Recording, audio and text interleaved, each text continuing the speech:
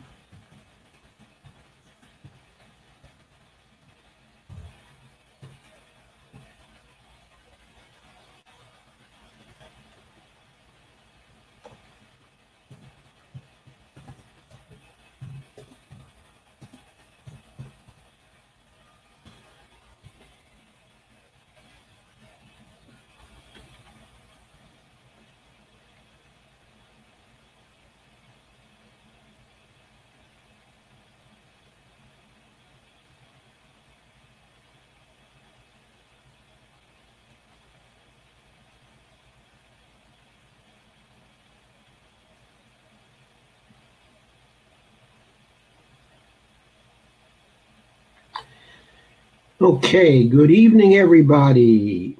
This is Joe Firestone on Thursday night for Real Progressives.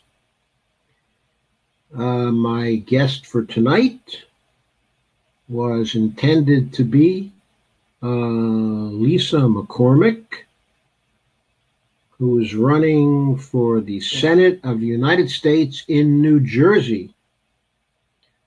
Her opponent is uh, Robert uh, Menendez, who's been a long-time senator uh, and is um, um, extremely well known as a member of the corporate establishment um, uh, in the Senate just the kind of person we would like to uh, to beat. Now, I have no idea why Lisa uh, uh, has not made an appearance uh, as yet, but I may have a surprise guest for you in just a moment. I can't be sure whether I will or not. Uh, he is working on it, um, trying to come in. If he does, he will be very welcome. But the way I'm going to start off with this is to actually talk about uh, Lisa's performance. Yes, Jeffrey Hyde says, uh, yep, uh, that um, uh, uh, uh, Senator Menendez has a scandal to boot, as well as being a member of the establishment. Yes, I know he has a very well known scandal uh, to boot, but I don't think I want to talk about his uh, scandal because every other politician in New Jersey has a scandal, okay, of some sort. Okay, despite his uh, uh, um, scandal, it's also true that uh, uh, Senator Menendez is, according to the figures I've seen, one of the poorest members of the Senate having only a net worth of 412,000 in terms of the statistics that I saw. So uh, whether he's a member of the corporate establishment um, or not, he thus far has not been able to use it to uh, um, to acquire any vast wealth. Uh, it sounds like almost all of his uh, net worth is incorporated into uh, some real estate that he probably um, holds, okay, in New Jersey. And if it's only 412,000, it must be fairly modest real estate um, at that. Okay. But anyway, he's still a corporate Democrat. He's still the kind of guy we love to beat um, around here because He's usually wrong on the issues. Uh, he's not as bad as some in the party, but uh, he is also not very good. So I still don't have have any sign of Lisa um, or my surprise guest. So what I'm going to do is pinch hit um, for Lisa in hopes that she eventually is going uh, to uh, um, um, show up. And uh, what I'm going to do is give you the questions that she received from various progressive groups who have spoken to her and the answers that she came up with. And based on that, uh, you'll see that she's a fairly substantial candidate. And by the way, my surprise guest, uh, who's an expert on New Jersey politics, has now arrived. And he is um, um, an old friend um, um of our show and RP, Jon Lancelot. Hi, Jon. How you doing? Doing great, thanks. Good. I'm doing um, even better since you arrived. Good. Good. How's um, life treating you these days? Uh, you know, busy. You know, doing a lot of research, traveling internationally, um, really digging into the issues of foreign policy and the cyberspace realm, which affects economics, it affects elections, it affects everyday life. And um, it's been really enlightening, you know, hearing from people, um, not for, only from the United States, but all over the world who have concerns about the new world that we're in. And definitely the cyber realm has affected our whole lives, everything. I mean, politics, everything we talk about. If we're not talking about affects um, our world, then we're not talking about issues that we could change. And so that's the mission I've been on. I've been on this 24 7 and I get no sleep. Yes, Jon, it's a wonderful mission. I'm sure you're completely fascinated by it. And I'm sure we'll see it in future attempts of yours to run for uh, office. We'll talk about that mission as we go through the show because it's a very interesting and fascinating one. But let us start off by discussing uh, the platform, okay, that uh, that Lisa has, in spite of the fact that she's not here tonight. Mm-hmm. Okay, and why don't we do a commentary um, um, on the platform, place it in the context of New Jersey politics, mm-hmm. uh, which you are certainly um, an expert on. Mm-hmm. And uh, we would love to hear um, your commentary on it and on the answers that she is giving to the various questions that have been posed to her by progressive groups and organizations.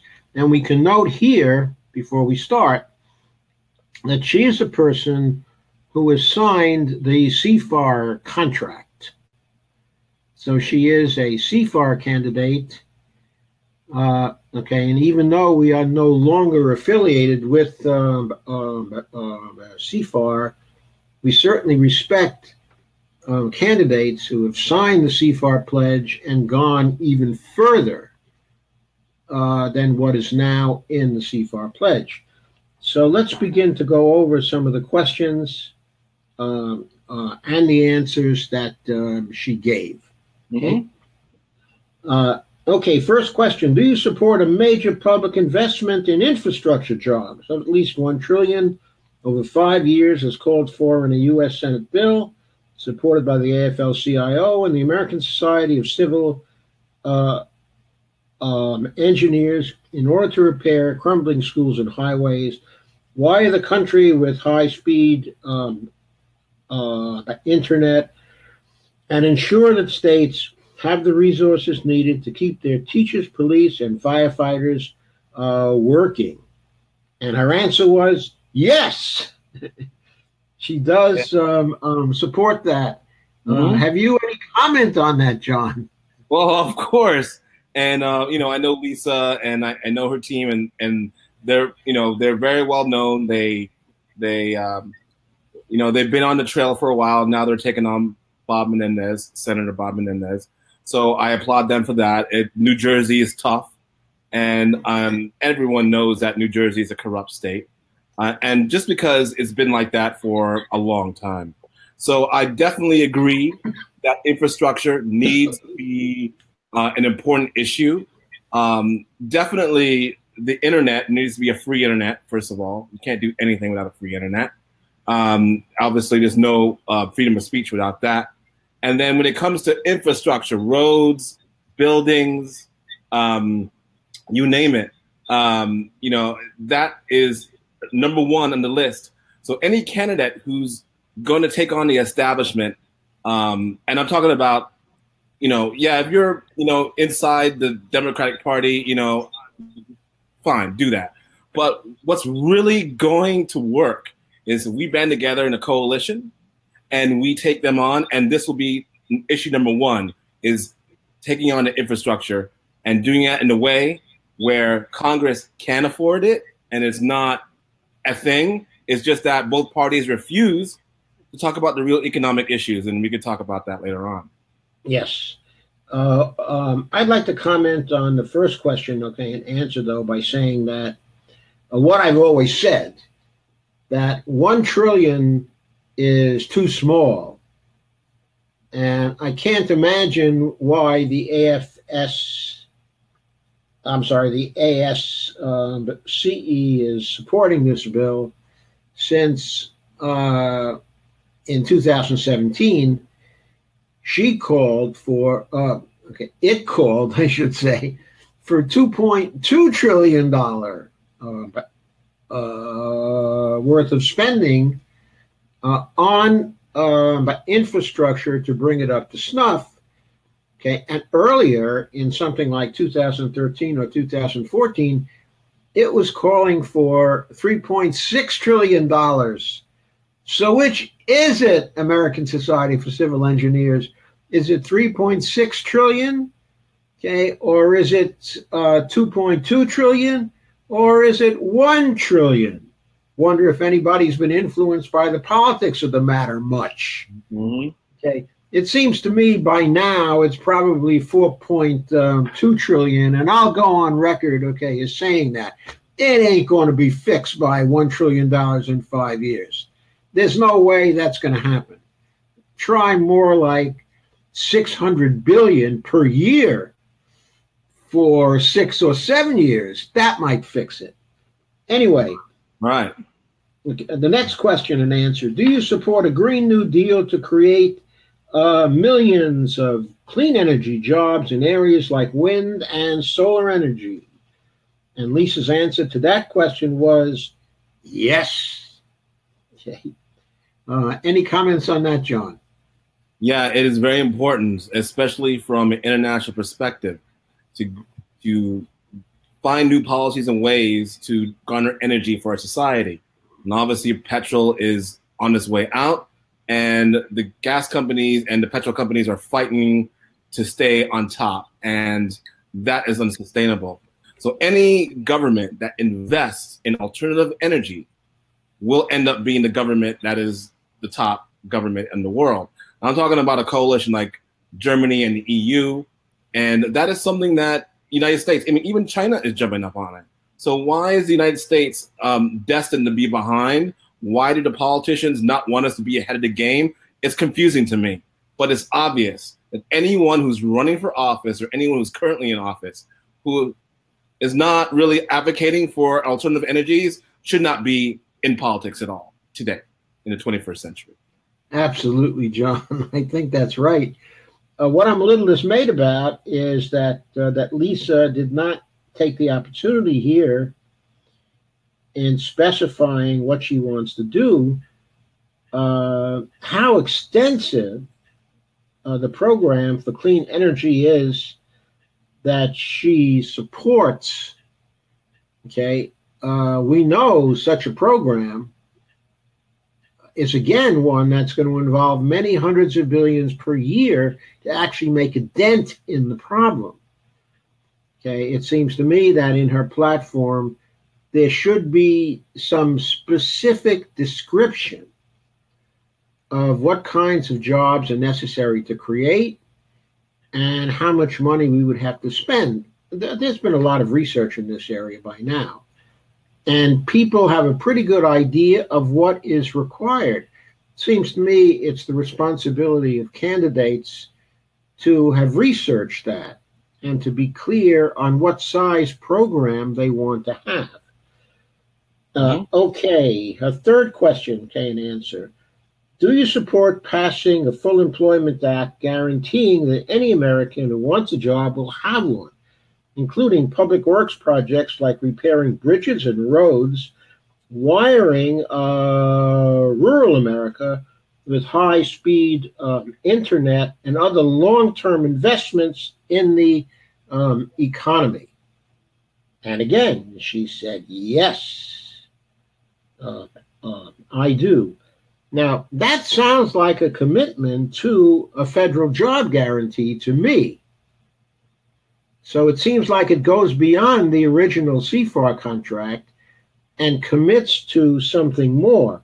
Now, she didn't say here that this um, um, um, um should be at a living wage, but um, down below, she answers the question Do you support raising the minimum wage to $12 or more? and indexing it to the cost of living so its value does not erode over time.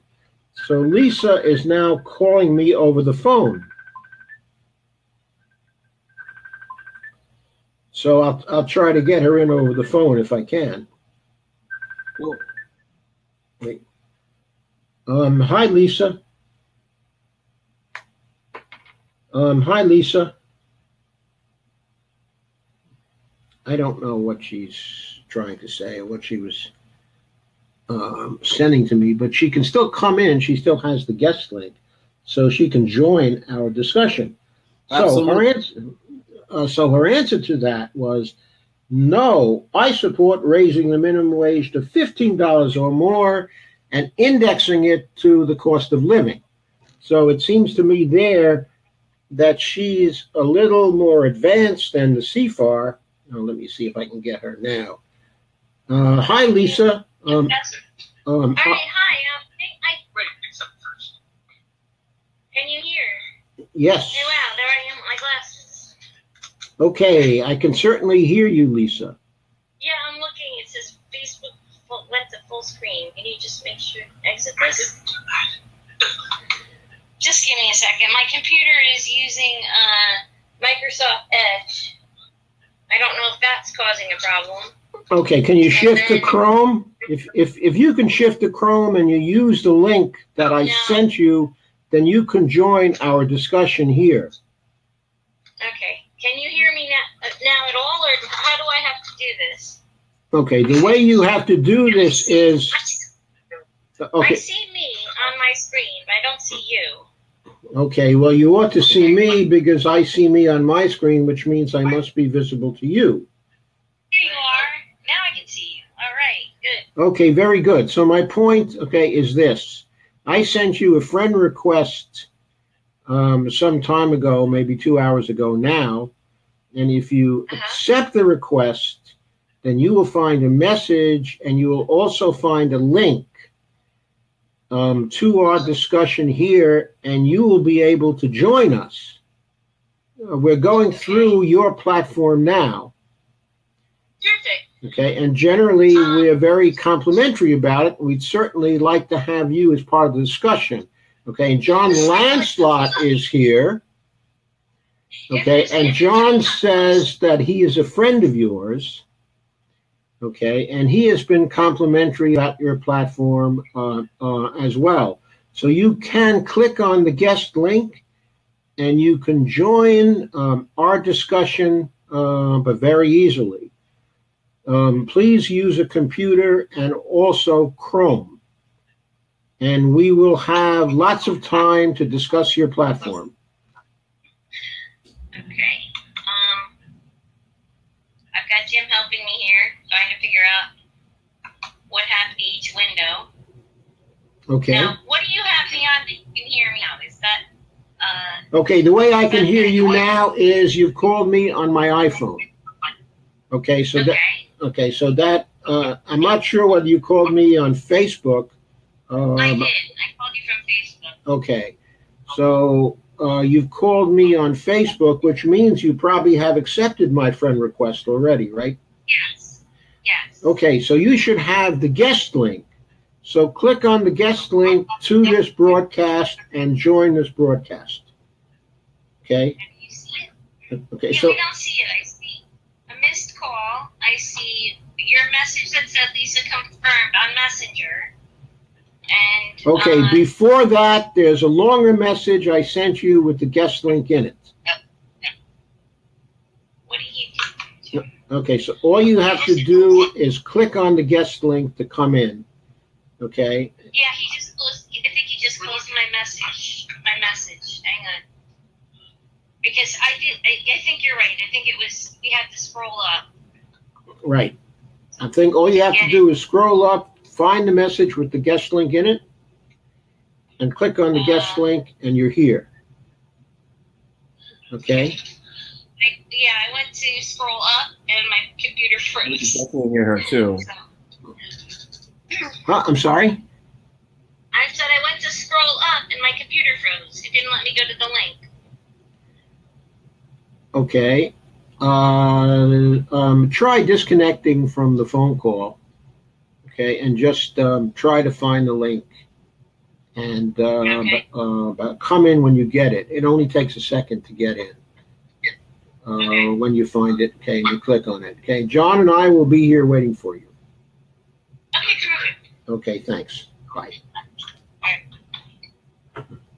All right. Okay, so she should be here in a minute to join us. and we'll Absolutely. probably have a very good time. But as I said, she is in support of raising the minimum wage to fifteen dollars or more and indexing it to the cost of living, which implies that she would be fully in support of a job guarantee program that would set a wage of um, fifteen dollars an hour, as Bernie Sanders' proposal uh, is uh, doing now. So apparently she would be in favor, okay, of that. Uh, okay, so the next question is, uh, let's see, did we miss something? Oh, yeah. She also was asked the question, do you support an Employee Free Choice Act, um, EFCA, along the lines of the original proposal in 2007, which would increase democracy in the workplace with card check uh, but elections. And she said yes to that. Of course. And I think we both agree that's a good thing, also, right? Anything that's good for the working class and working people in this country, I'm all for it.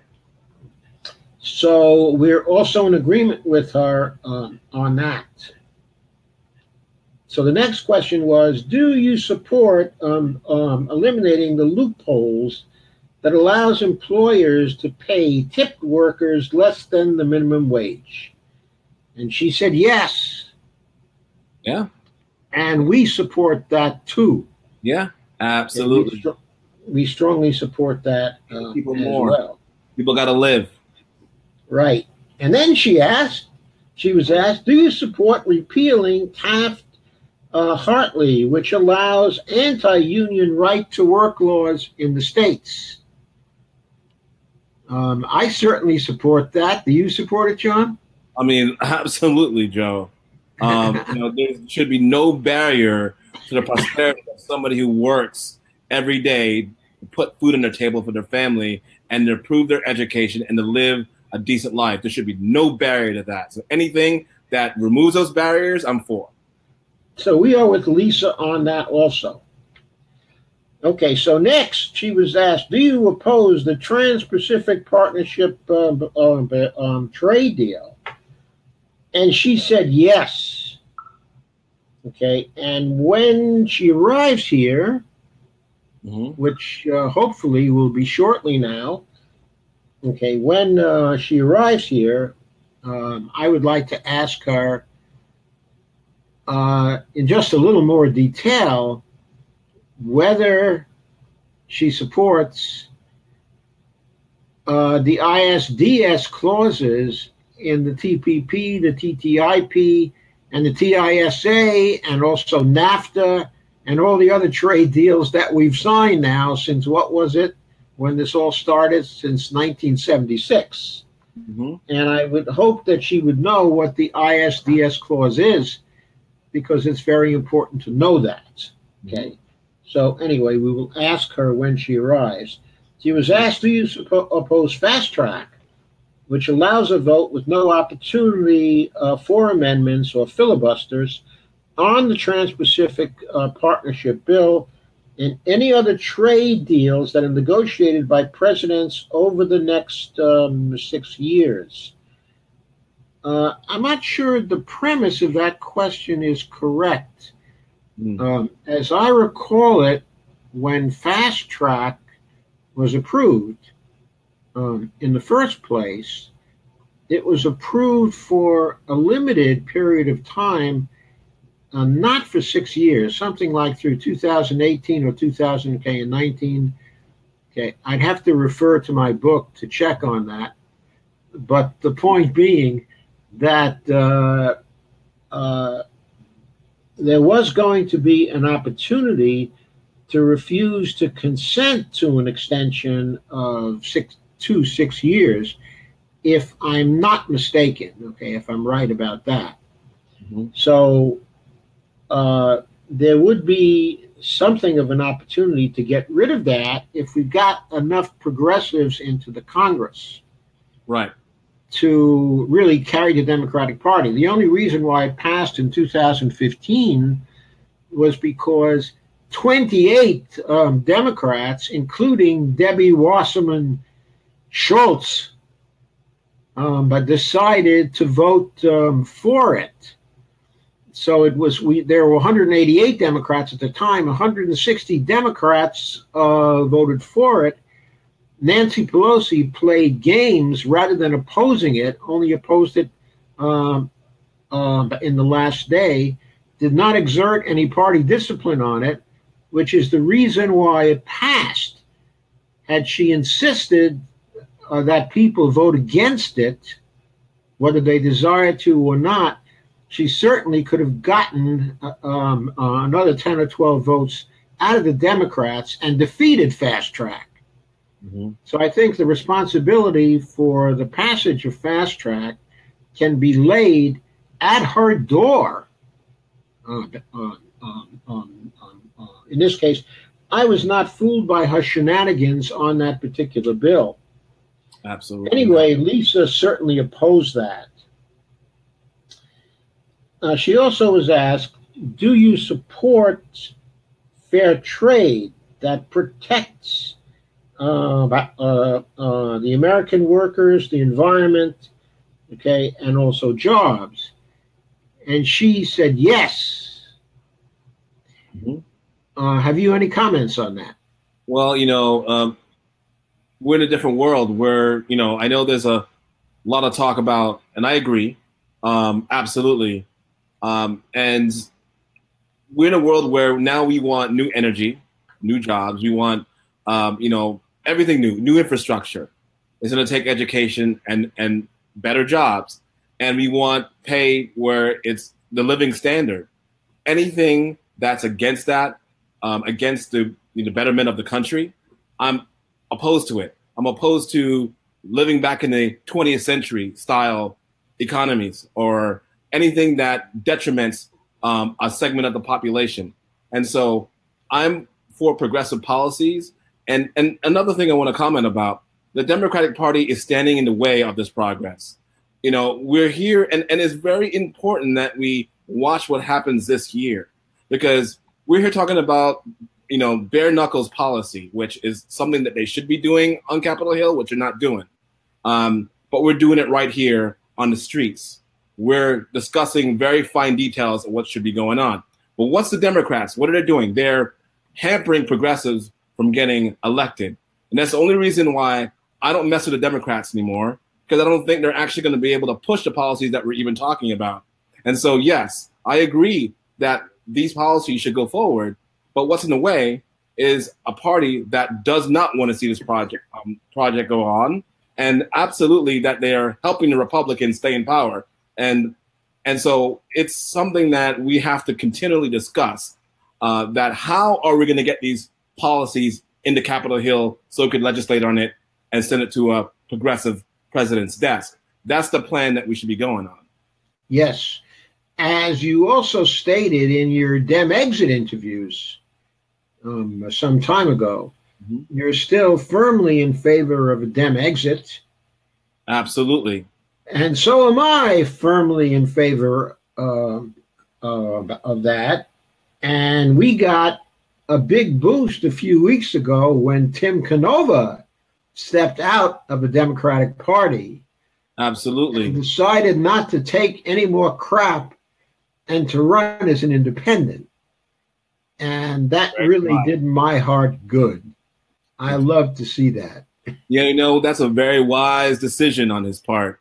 It because, was a very wise decision. Because we have to realize that we don't have all the time in the world. So we're giving it a chance this year. We're giving it, they're giving the Democrats a chance to change, but there's been no sign of it. And those of us who are independents are talking about policies to move the country forward. So that's why I've been intent on doing what I'm doing behind the scenes to make sure that when it comes time for us to rise, that we're actually going to have policies to present to the people and not just say, well, just vote for me. No, it's going to take an effort from all of us. Politics is not a spectator sport. We all have to take part in it. And so, yes, um, uh, Tim uh, made a very wise move. He did make a very wise move. And uh, I suppose uh, my best or biggest comment on that is that why run in a fixed uh, but primary? Why run in a party that asserts its right to fix its primaries while right. Uh, loudly asserting to everybody that all its primaries are fair? It boggles my mind. And, and you know what? It boggles my mind too. And it boggles my mind that people would be so stupid as to run in those primaries anyway. The advantage these parties have, which makes it scares people, is like, look, we're going to be here forever. We've been here forever. You can't go around us. Anyone that's ever played the sport of football knows that you can't run around somebody, you run into them. And so what we have to do is run into both of them and knock them down. It's physics. If you're going to sit there and say, well, we have to like, you know, work with the Democratic Party, the clock is running down. You have to have another play. Now, I've spoken to people all over. Like, I, I speak to people every day. And every single person, it doesn't even matter whether they're progressive or, or, or um, uh, conservative or whatever their bent is, that they're sick to death of both parties. They but they don't have a way to go. There's nothing, uh, there's no place for them to go. So those of us who are politicals and very well astute in politics, we have to figure out how to build a way for us to connect with the 50% of the population that will not bother to get up to vote for either party. That's what we have to do. That's a political revolution. And all this stuff going back inside the, uh, the uh, Democratic Party is just time wasting. And that's just my opinion. I respect the opinions of people who say, like, no, we have to work from within. But for me, it's more of an urgency that we have to figure out another way. I think so too. And I think uh, we have to run over them. And Mark Fabian says, no, through them. but I think we all have the same idea. Yeah, run. We, got to run over them. We got to run through them. We got to um, knock them down. We got to. Yeah, and all that. And we have to touchdown. Make the touchdown. To, make the score make the score, we have to have a movement that is powerful enough that it cannot be resisted. And the way to do it is by getting that 60% of the population to vote in uh, those states where there are open primaries. Then maybe they get into the Democratic Party and overwhelm the fixing. And in other states, where there are not um, open primaries, then maybe they get into the Green Party and overwhelm them uh, by electing Green Party candidates, okay, or um, independent party candidates. And there's a strategy also beyond running um, in the Democratic primary. And that is if you happen to run in the Democratic primary and you can get by the fixing in some way, because maybe in some states the fixing is not that much of a problem. Like, for example, in Minnesota, in some of the districts, it still appears that those primaries are fair. Maybe that's because of, you know, of Minnesota nice, or maybe it's because, okay, of other reasons. But uh, some of the candidates I talk to from out there say, no, that there's not really any um, um, systematic cheating going on here. This ain't Wisconsin. Okay. Uh, you know, they'll say stuff like that, and maybe they're right. And if they are right, maybe it makes sense to um, um, to run in there, and maybe you can win there. But once you do win, it seems to me then you're a fool to stay in the Democratic Party. If Tim Canova wins, or some Green Party candidates win out in California, okay, or in um, um, some other states, then all the progressives need to get um, um, together and form a people's party. When you're in Congress, you can switch parties. You don't have to stay in the party, okay, that elected you. Okay. You can switch parties. It's been done again and again and again when the party is out of step with the person who was elected from a particular district. If the Democratic Party does not change, if it does not reject fixing primaries, okay, and um, but things like that, then if progressives are elected into the Democratic Party, to stay there would be betraying the movement. They should switch parties, form that third party with a foothold in the Congress of 20, 30, 40 representatives sufficient to hold the balance of power in the Congress and shift the whole kit and caboodle over to being a people's party or a people's Congress. There's potential for doing that. Potential for getting outside of the party system and doing that. So I sent the link to Lisa again. She doesn't seem capable, okay, of using it. Uh, but uh, let's go on here with her uh, uh, platform. Absolutely. Do you support uh, modernizing overtime rules so employees making less than fifty-one thousand a year are eligible for overtime pay? Fifty-one thousand is approximately what the threshold would be today if the rates set in 1975 were adjusted for um, uh, uh, inflation. And she said yes. Uh, what do you think of that? Yeah, a worker needs to get, you know, they want to stay over. They, they're very motivated about their job. They want to stay past their time and work more. I have nothing against that. They should be able to do that. That's their worker right. They want to make some extra money. Of course, the company has to figure out what's within their means of doing it, but it should be the right of a, a motivated worker to say, you know what, I want to stay two extra hours. I want to stay three hours to do my work, and uh, that's perfectly reasonable to me. Um, you know, and uh, you know that's something that's going to take some discussion between workers and companies, and that's why in this country we have to have a very real conversation. Is how we're going to move forward. And if you cut off overtime, you're not giving the worker any choice. Yep. Yep. I completely agree, and I agree that I don't even think fifty-one thousand, okay, is a reasonable sort of level. I think it should not only be adjusted for inflation, but it should be adjusted for productivity changes also since then. I Absolutely. feel that way about the minimum wage also. I think in much of the country, $15 an hour doesn't make it. It's not a living wage, okay, in uh, those parts of the country. And if the federal job guarantee is going to fulfill the concept that it's a federal job guarantee uh, at a living wage, it should be cost adjusted uh, for locality, it seems to me, and should range between uh, let's say 15 and uh, 26 or 27 or 28 or whatever the cost adjustment actually produces.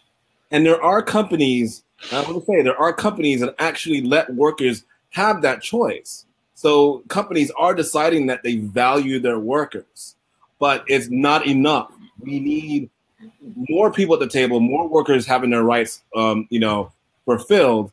But the thing is, for me, this is the thing for me. This is why I don't trust the Democratic Party. How long they've been sitting on this issue? You think all of a sudden now they're going to want this stuff? They've been. Well, how long has it been?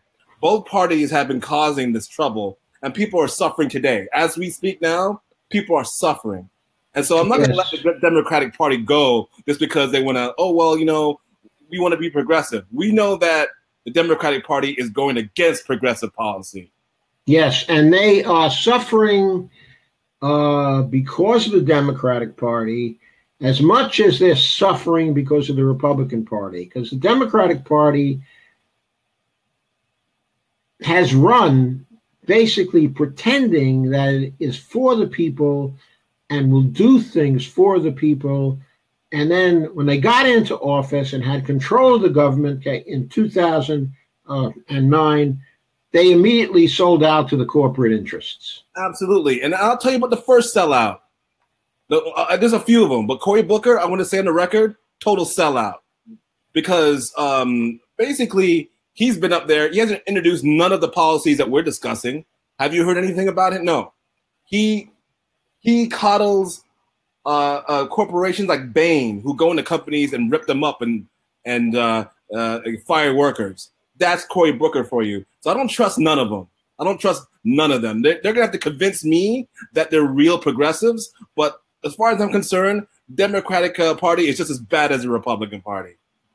Yep, it it has simply it has simply served a safety valve kind of uh, um, um, um, function to drain pressure from the people off, to give it um, um, some kind of a relief, okay, by giving us the feeling that we have won some elections and we have elected some candidates who are promising change so things might be better for us. But in the end, most of those candidates, except a very few, um, sell out. In the end, they sell out.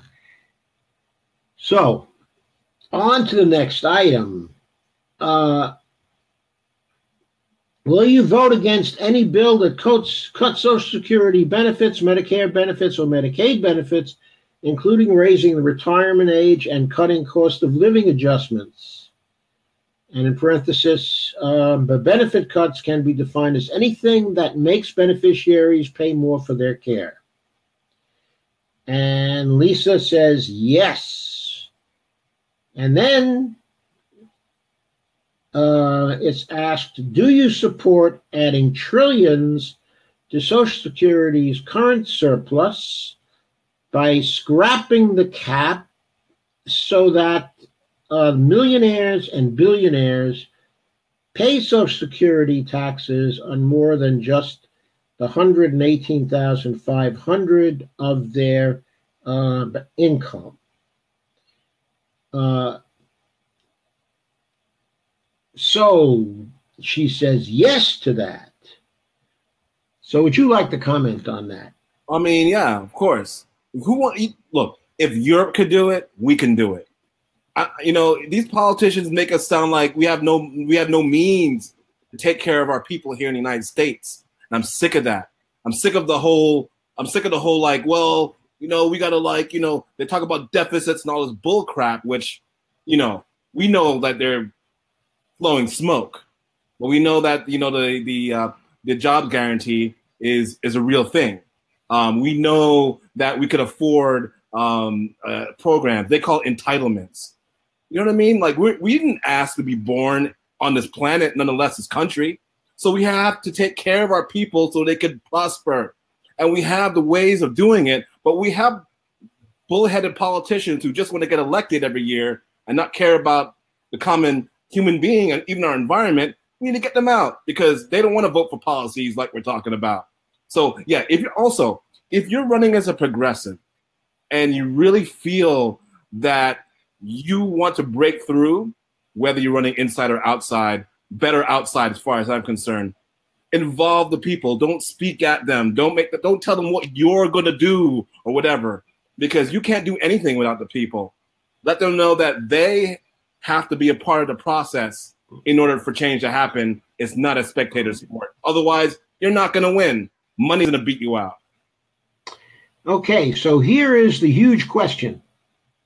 Okay, and it is what happens if you get into a situation where, as someone um, in Congress, you can pass um, um, an expansion of Social Security, a substantial expansion of Social Security but you cannot do it and scrap the cap um, as well. Because what happens if you get down into the bargaining sessions and you go in with the idea we're going to scrap the cap uh, because we want to expand Social Security by one third. Okay, and we have a lot of steam behind this in the public, and the deal gets put on the table.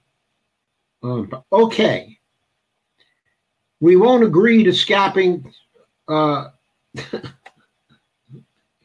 to scrapping the cap, but we will agree to expanding Social Security by one third. Okay, then what do you do? So that's the question. Well, okay, I would want to know how Lisa would answer that question. Of course, I want to know how you would answer that question, and then I'll answer that question. Okay, so uh, how would you answer that question? Well, um, what I would propose in that case, if they did not want to remove the cap, is to push it to the cap, push it to the maximum. No, none of this wimpy stuff. If you don't want to re- remove the limit, then push it to the limit because we want more than that. The people want more. And they will tell the people, look, we want to push it to the limit. They want to keep their limits, but we want to push it to the limit. And we need more pressure to remove it, but not anything under because that's just showing that we're weak. Okay. No, no. Well, I would say this. I would say this. It's very valuable to Social Security recipients to get that expansion done by one third right now. Not a year from now or two years from now, but right now, because many of them are struggling. And by accepting this deal, we would be delivering for them. We can always come back the next year and talk then about scrapping the cap. Okay? So uh, the question that arises now, of course, is well, if we don't scrap the cap, um, uh, how do we pay for it? Yeah. So the answer, the answer about how we pay for it is we do this. I'm going to place this on solo now, Jon. I don't think you've seen this yet. Oh. Okay. Question your programs look expensive. How you going to pay for them? Answer. Where Congress We'll just order the Federal Reserve to give Treasury the money. That's the answer to the question. Have you ever heard that answer before? I love that answer because it's true. It's, it's true. It's true, and it's a soundbite. It, yes, it's a soundbite, and and it's a very and you know what I've presented this sort of uh, conversation to many lay people just on the street, people I just met, and they they're aware that Congress could has the power to do this sort of thing. It's just that uh, you know on the news that you know people old deficit, all this stuff we can't spend money. But deep down inside, every American knows that Congress has the power to purse, and there's no bank lording over it. Right. so the point is, people do know that. It would be plausible to people. And it's something you can shove in the face of a CNN questioner or some idiot um, um, like that who raises the question. And if they come back with something thereafter, essentially doubting that, it's very easy to reply, okay, and say to them, Are you telling me you doubt that we, the Congress, have the power to just order the Federal Reserve to give Treasury the money? Are you seriously saying that? and I think that would really set them back uh, uh, on their heels. But if they continue to be stubborn about it, then it's very easy to do this. It's very easy to present to them the legislative language that could be put in the appropriation bill. Two sentences the first sentence pays for whatever the spending is for. In other words, it forces the Fed to place the money in the Treasury spending account. The second sentence forces the Fed to place the money in the Treasury spending account to repay whatever debt instruments fall due during the period of the appropriation. Beautiful. So it pays down the debt. Yeah. This this short clause of two sentences, uh, uh, these massive appropriation bills, 2,300 pages, 1,300 pages, can't even read through the whole thing. They are fi- finally introduced in Congress.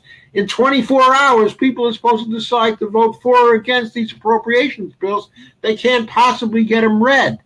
But this is just like half a page in the appropriation bills, boilerplate right at the end.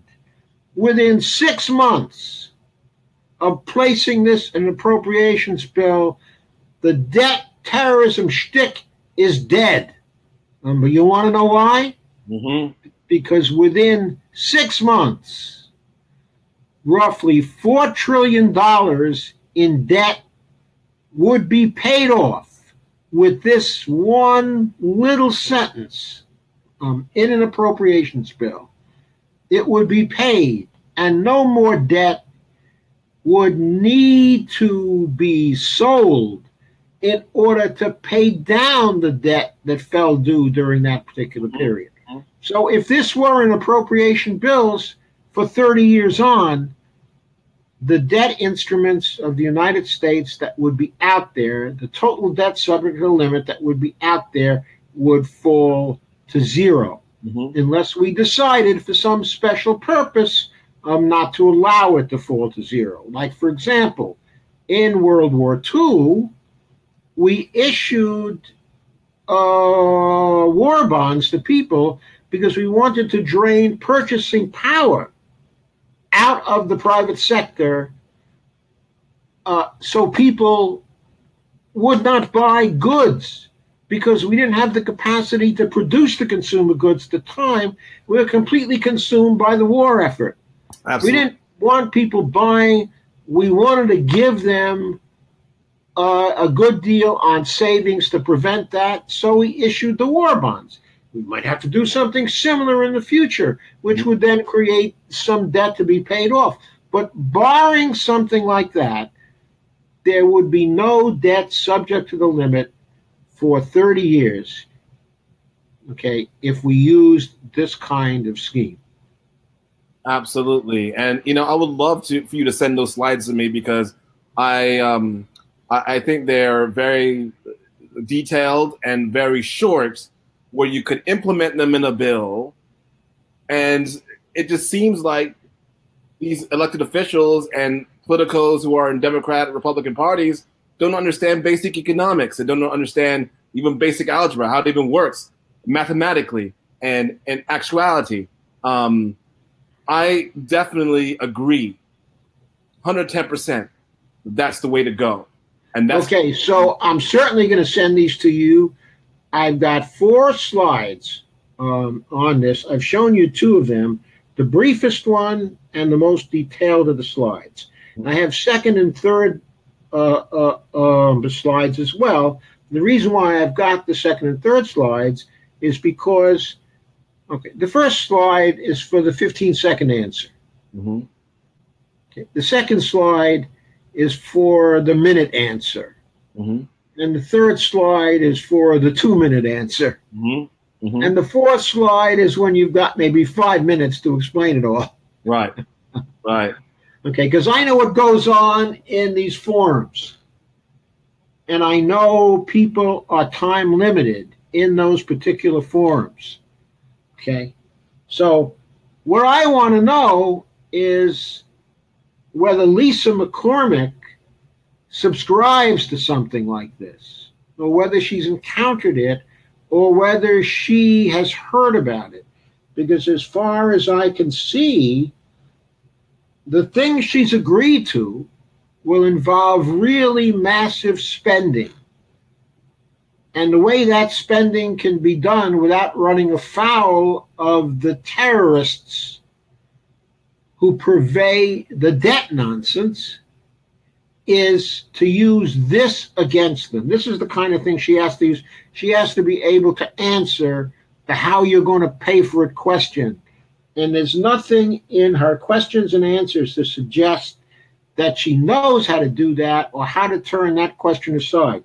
If she got into a debate at all with Menendez, which she probably won't have a chance to do, but if she got into a debate with him, the first thing he would have to ask is, look, Lisa, I'm for all this, but I know that it can't be paid for. Why don't you know that? Why can't you answer the question how you're going to pay for it? And then her proper answer would be, I can answer it. Here's the answer. Mm-hmm. We're Congress. We're going to order the Federal Reserve to put the money in the Treasury spending account. Right. You think we can't do that, Bob? You think we can't do that? Yeah, you know, like there's a lot of those establishment politicians. They love that.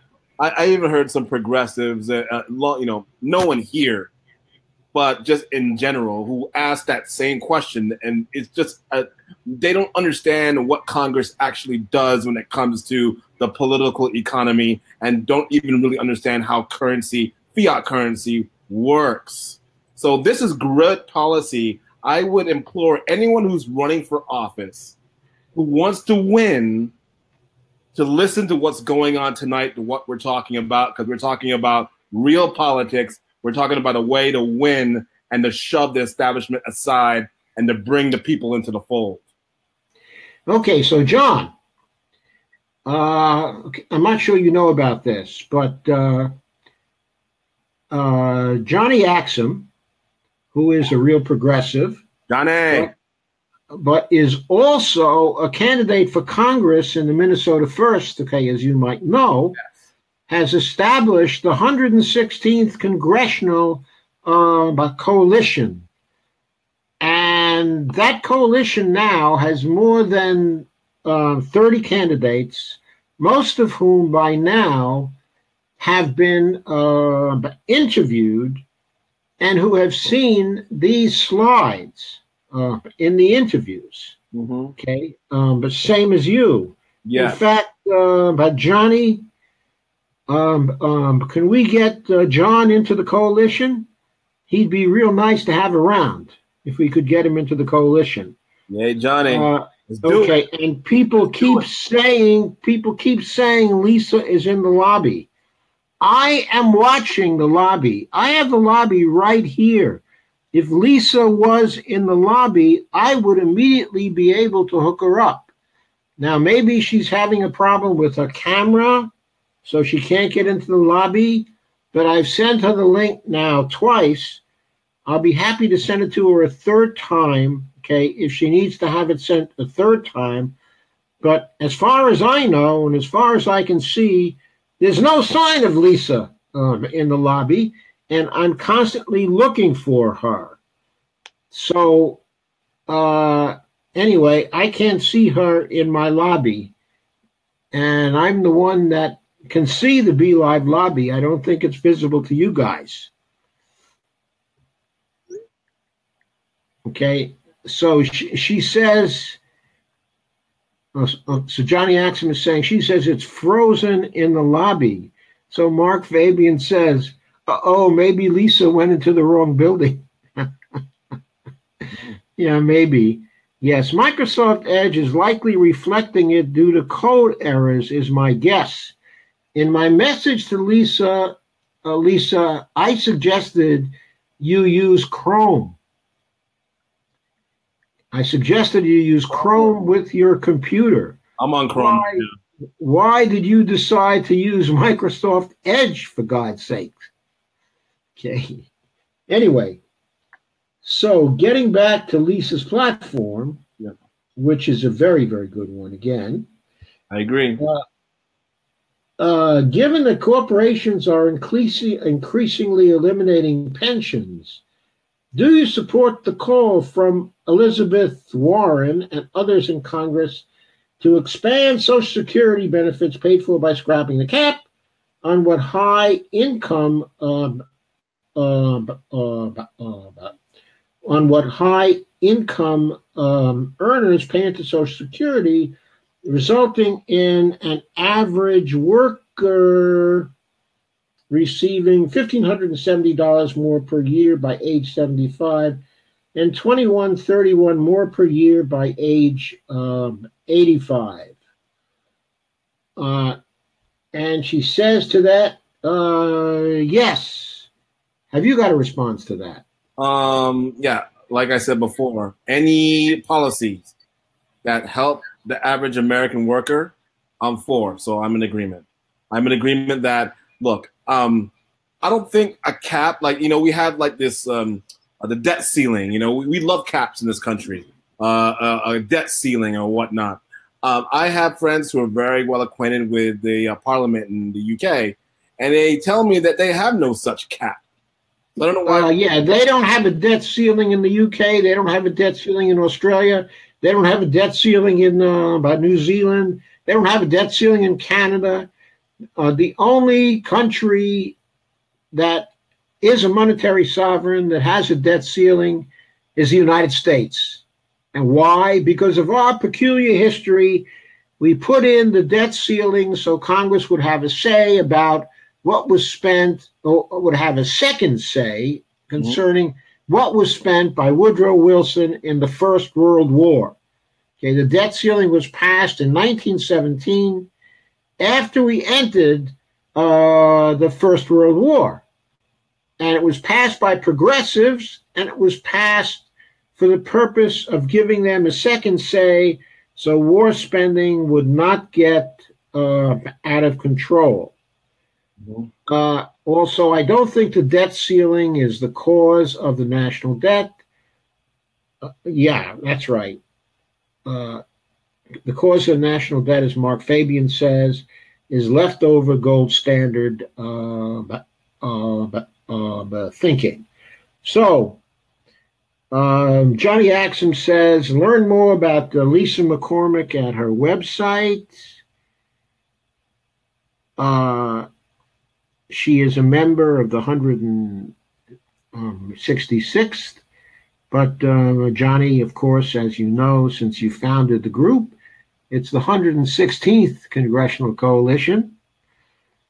And uh, Lisa McCormick's website is uh, lisamccormick.org. HTTP, of course, the uh, uh, front slash uh, front slash uh, Lisa McCormick uh, uh, .org. And by the way, uh, the things that I've been reading out um, tonight are from her website. They're the questions and answers that she's given um, um, um on her website, which constitute a platform.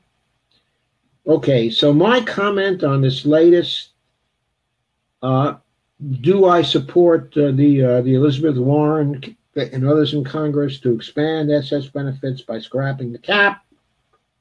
Okay.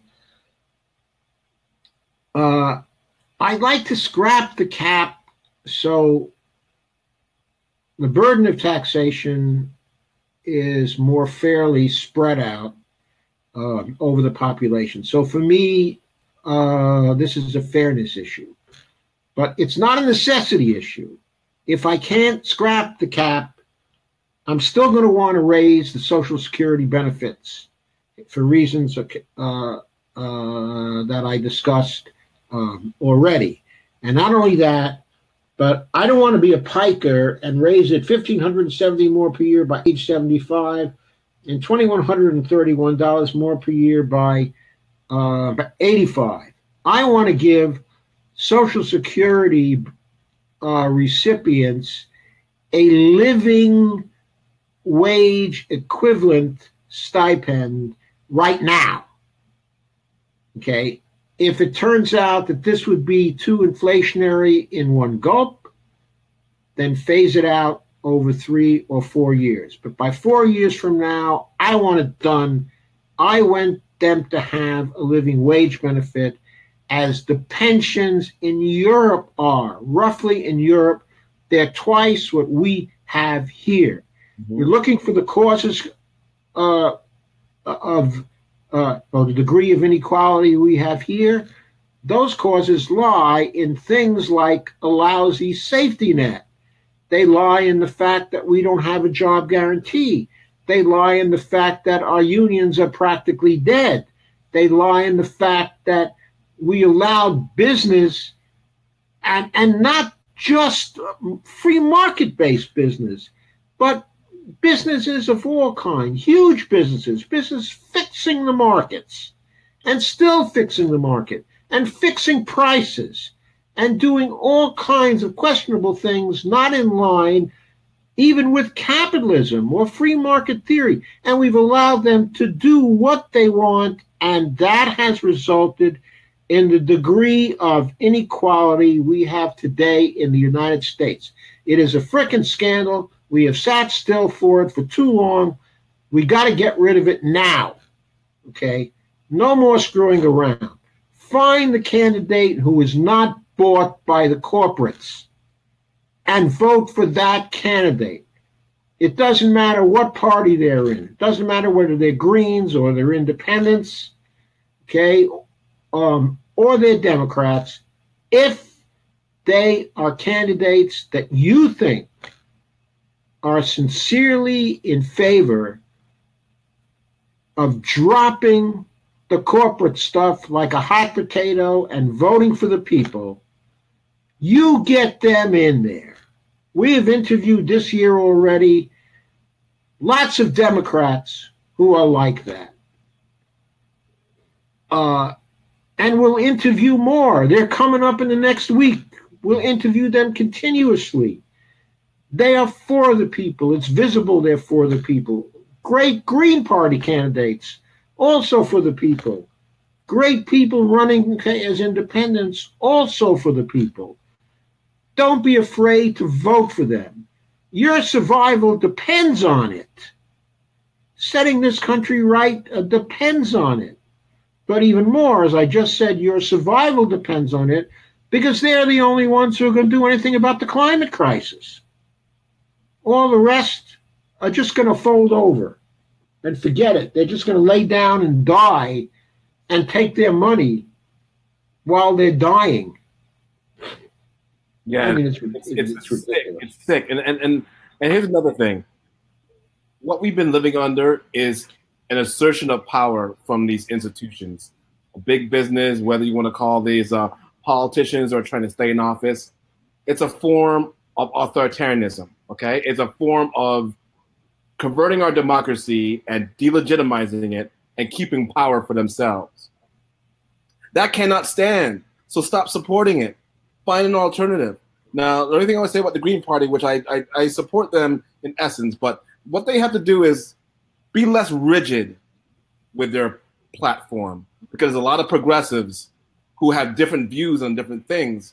And so the handicap that the Green Party has had is that their platform is too rigid and they're immovable nearly. And also, um, it's going to take more than the Green Party to bring progressives together. It's going to take independents, and we might have to build a bigger coalition beyond progressives.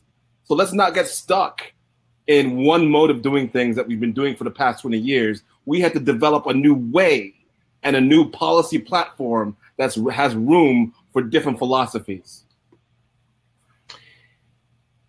Uh, okay, I'm not sure how far we can go with that, and the reason why I say that, okay, and I, I, okay, I kind of do believe that, okay, but I think that where the boundary has to be drawn is that there are many other philosophies that are corporate friendly and corporate based. And there cannot be any room for them in this particular movement. Oh, absolutely not. Because this is the line that we have to draw. Now, there's room for all kinds of people. Here comes Lisa. She's in the lobby. Nice. And I am bringing her in. I still don't see her. Uh, I still don't see a camera. So I'm not sure we're going to see her. Ah, here she is. So I'm going to show her right now. Hi, we made it. You you made it. Oh my god. Hi, good Now evening. Okay, we're happy to see you here. Okay, We're very happy to see you here. What I'd like to ask you to do, okay, is adjust your face on the screen because half your face is uh, uh, cut off. Ah, now it's better. Okay, now it's better. Okay. And, and also lower your volume a little bit because we're getting some feedback from you. Okay. Okay, so now everything okay is okay. We have been going over uh, the questions, okay, and answers um, on your website, and we are now down to. Uh, do you support saving taxpayers approximately 230 billion over 10 years um, um, by allowing Medicare um, um, and also Medicaid to negotiate prices with pharmaceutical companies. And you said yes, that you were in support um, of that. Okay, but let's Right. sort of take a step uh, uh, backwards on this uh, to consider one question. I think we have pretty much approved of things that you have said you support here. Okay, where we have not approved, it's because uh, we would go further. Like, for example, on the $1 trillion bill, okay, for uh, infrastructure um, over five years, we know Bernie Sanders uh, supports that. But uh, Right. we also think that it's too little, that the problem is far larger. Okay, in Jon's Right. case, I guess he's somewhere in the two trillion dollar range, I think, or maybe the three trillion dollar range, and I'm at uh, up to four point six trillion dollars now, and I can talk about uh, exactly why that's true, but I am convinced it can't be done for a trillion dollars, and I think the only reason why Bernie has proposed that is because he's afraid if he proposed what it's really going to cost, that everybody would be totally laughing at him because they're already laughing at him uh, because he's talking about a trillion dollars over five years.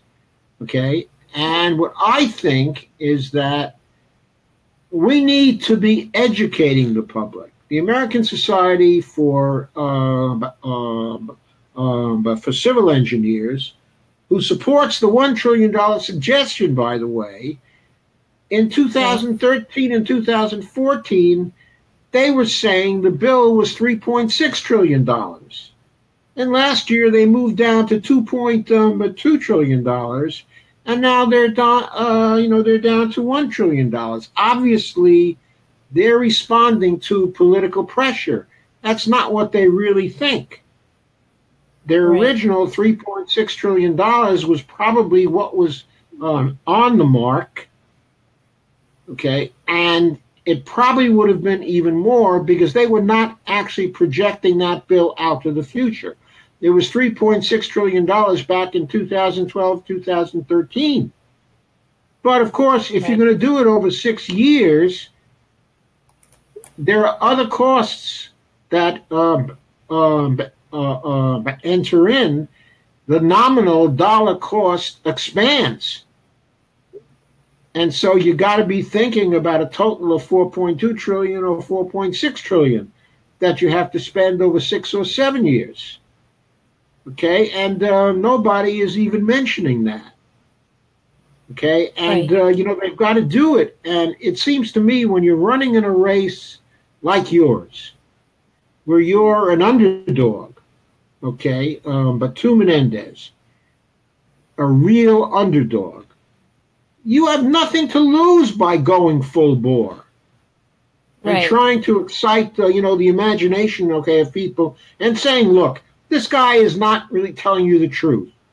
Okay, in other words, even if he supports a one trillion dollar bill, okay, uh, uh, you can come out and say this guy is not telling you the truth.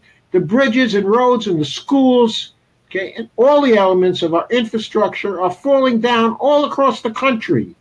The bill is going to be a lot larger than that, and then you defend uh, that um, sort of opinion. Okay, but I, I was also very interested in uh, uh, your statements on wind and solar energy, uh, your support for a federal job guarantee, okay, which appears to be in your platform right now, and your support for a lot of other things that are going to cost a lot um, of money. Now, if you ever do get into a debate with him, okay, or if anybody else happens to notice you in this fight and brings you on to a CNN program or something like that, so that they can tell the story of uh, you know the courageous lady in New Jersey who is fighting Menendez. I mean, it's an underdog story. So they ought to be picking it up. These idiots ought to be picking it up. It's good for viewership. Okay. When they pick it up, the first thing they're going to ask you, Lisa, is how are you going to pay for it? And you got to know how to, um, uh, how to answer the question. And taxing people to pay for it isn't going to cut it because even placing much, much higher taxes on people uh, what are you going to get out of that? 400, 500, 600 billion dollars a year more out of that? It's not going to pay for it. It's not going to pay for fighting um, the climate change. Uh, you might need a $2 trillion a year bill to fight climate change and to introduce the kind of solar energy stuff uh, that we need. So, what I wanted to show you was this. Okay. Uh, okay, and by the way, I recall you're a member of the 116th um, uh, uh, coalition, right? And I think you're also one of the admins on the site. Uh, am I wrong about that? I'm trying to see your graphics small for me. Okay. And Okay. there's such uh, a okay, I'm going to go solo with the graphic right now. Okay? okay. So the graphic right. asks the question Your programs look uh, expensive. How are you going to pay for them? And the answer is, or the shortest answer is, we're the Congress We'll just order the Federal Reserve to give Treasury the money. Right. So you know that can be done, right? Right. No, there's nothing in the Constitution that actually prevents that. It's the true answer. It's the true answer. Yes. That's all you have to say. And if they start questioning you about that and they start to deny it, all you have to say in response is, Are you seriously telling me that Congress doesn't have the power to tell the Federal Reserve to place that money in the Treasury spending account? If you just keep repeating that, they won't be able to say a goddamn thing. They may bring up the question okay, of inflation and say, oh, you're talking about uh, printing money. Well, we don't have time to go into the inflation argument here today, but there are lots of answers to the inflation argument. And just as a matter of the history, okay, of this stuff, before they started doing the terrorism um, um, over the debt during the 1970s, before that uh, time, every time we had an argument with the right concerning full employment versus the possibility of um, inflation in the economy, we, the progressives, won that argument. They lost every single time until the inflation of the late um, 1970s, which wasn't caused by government spending. So the point is, we can win again if we get the issue shifted over away from the national debt to inflation. Right. So I think that's an important thing to do. There was something else I wanted to show you also. Okay, and that is another graphic. That graphic gives the language that can be placed into appropriations bills in Congress to force the Fed to place the money for the appropriation in the Treasury spending account. And it is, I'll put this on solo again so you can see it. Uh, the first sentence gives the Fed the order to place the appropriation in the Fed, uh, the Treasury spending account. The second sentence gives the Fed the order to place further money into the Treasury spending account, which would be necessary to pay off all of that part of the debt subject to the limit, the national debt, so called, that falls due during the period of the appropriation bill. So this language does two things it pays for the appropriation and it pays for paying off the debt instruments. So eventually, over 30 years, there would be no more national debt. And within six months, roughly $4 trillion of the national debt would be paid off because a lot of it is debt falling due and very short term debt that is also falling due. Okay, there must be 2 trillion of uh, the latter and also 2 trillion of the former in that kind of distribution. But within six months, you could point to the national debt being $4 trillion smaller. Mm-hmm. And you could give people the rap. Well, we've been telling you all along the debt's a false issue. Okay, that it's not a real issue. Right. Guess what? We just proved it because we paid off four mm-hmm. trillion dollars worth of it in six months using one sentence in the appropriations bill. So it was always a bullshit issue if you want to use right. that language. You can use that language or be more prim and proper. okay, and, you know, point out to people. Okay, but okay, my point is we do know how to do this. We do know how it can happen. Other issues are raised by it. One is inflation, and the other is getting rid of the congressional um, um, pay go issue.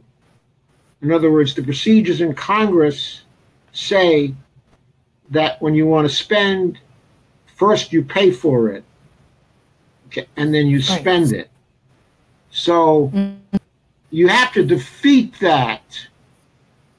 It starts in the House that way, and the congressional representatives have to change that procedure. And to the degree the Senate complies with that procedure, it too has to change that procedure. In other words, the order should be spend first, then decide how much you have to tax. And the reason why is that what you have to tax is what you have to do to drain inflationary pressures off. But no more than that. In other words, there are good reasons to be running deficits. Those reasons are the size of the trade deficit, trade that drain money out of the private sector, and the size of private sector savings that also drain money out of the private sector. Altogether, there's evidence that the money drained would be up to 12% of GDP each year, giving us mm-hmm. deficit spending policy space of 2.4 trillion roughly um, um, assuming a GDP of uh, roughly $20 trillion right now. So we could run a total deficit of 2.4 trillion and not run into inflationary pressures due to government spending. Right. So that's a fact. It's something to keep in mind. It's something to uh, to argue with if these issues um, actually come up.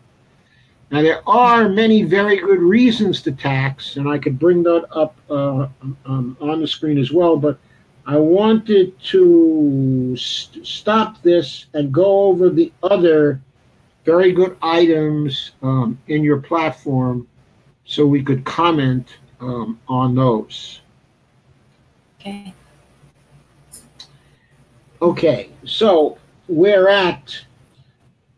Uh, do you support saving taxpayers approximately 230 billion over 10 years, um, um, but by allowing Medicare and Medicaid, um, but to negotiate prices with um, pharmaceutical companies? And you said yes. Okay. Right. Does saying yes imply then that you're against the Medicare for all bill passing? No, I don't think it Well, does. No. No, in fact, um, the only thing that we want to change in Medicare is to give give Medicare the opportunity to um, negotiate the drug pricing, but also if we can get for profit out of the system, we can save uh, those as well. Because the the insurance companies that that are aligned with the Affordable Care Act paying ridiculously high salaries to their CEOs, and all that money that could be spent if we were for pro- profit or paid doctors directly. Uh, we would be able to insure that many more people and more in insurance uh, instead of just you know throwing these ridiculous salaries out to the CEOs. Now, Okay, Bernie talks so- about that in a, a lot in his book. I don't know if you've Uh, read Bernie's book, Our uh, Revolution, but Uh, well, I actually haven't read the book, but I think I know what he says about it. Okay, because I know what's in um, his Medicare for All bill. So my question to you is: Do you support um, uh, uh, his Medicare for All bill? Yes, I think well, essentially he. Well, well, I'm not sure that. I think I think you brought up a good point before. I far enough.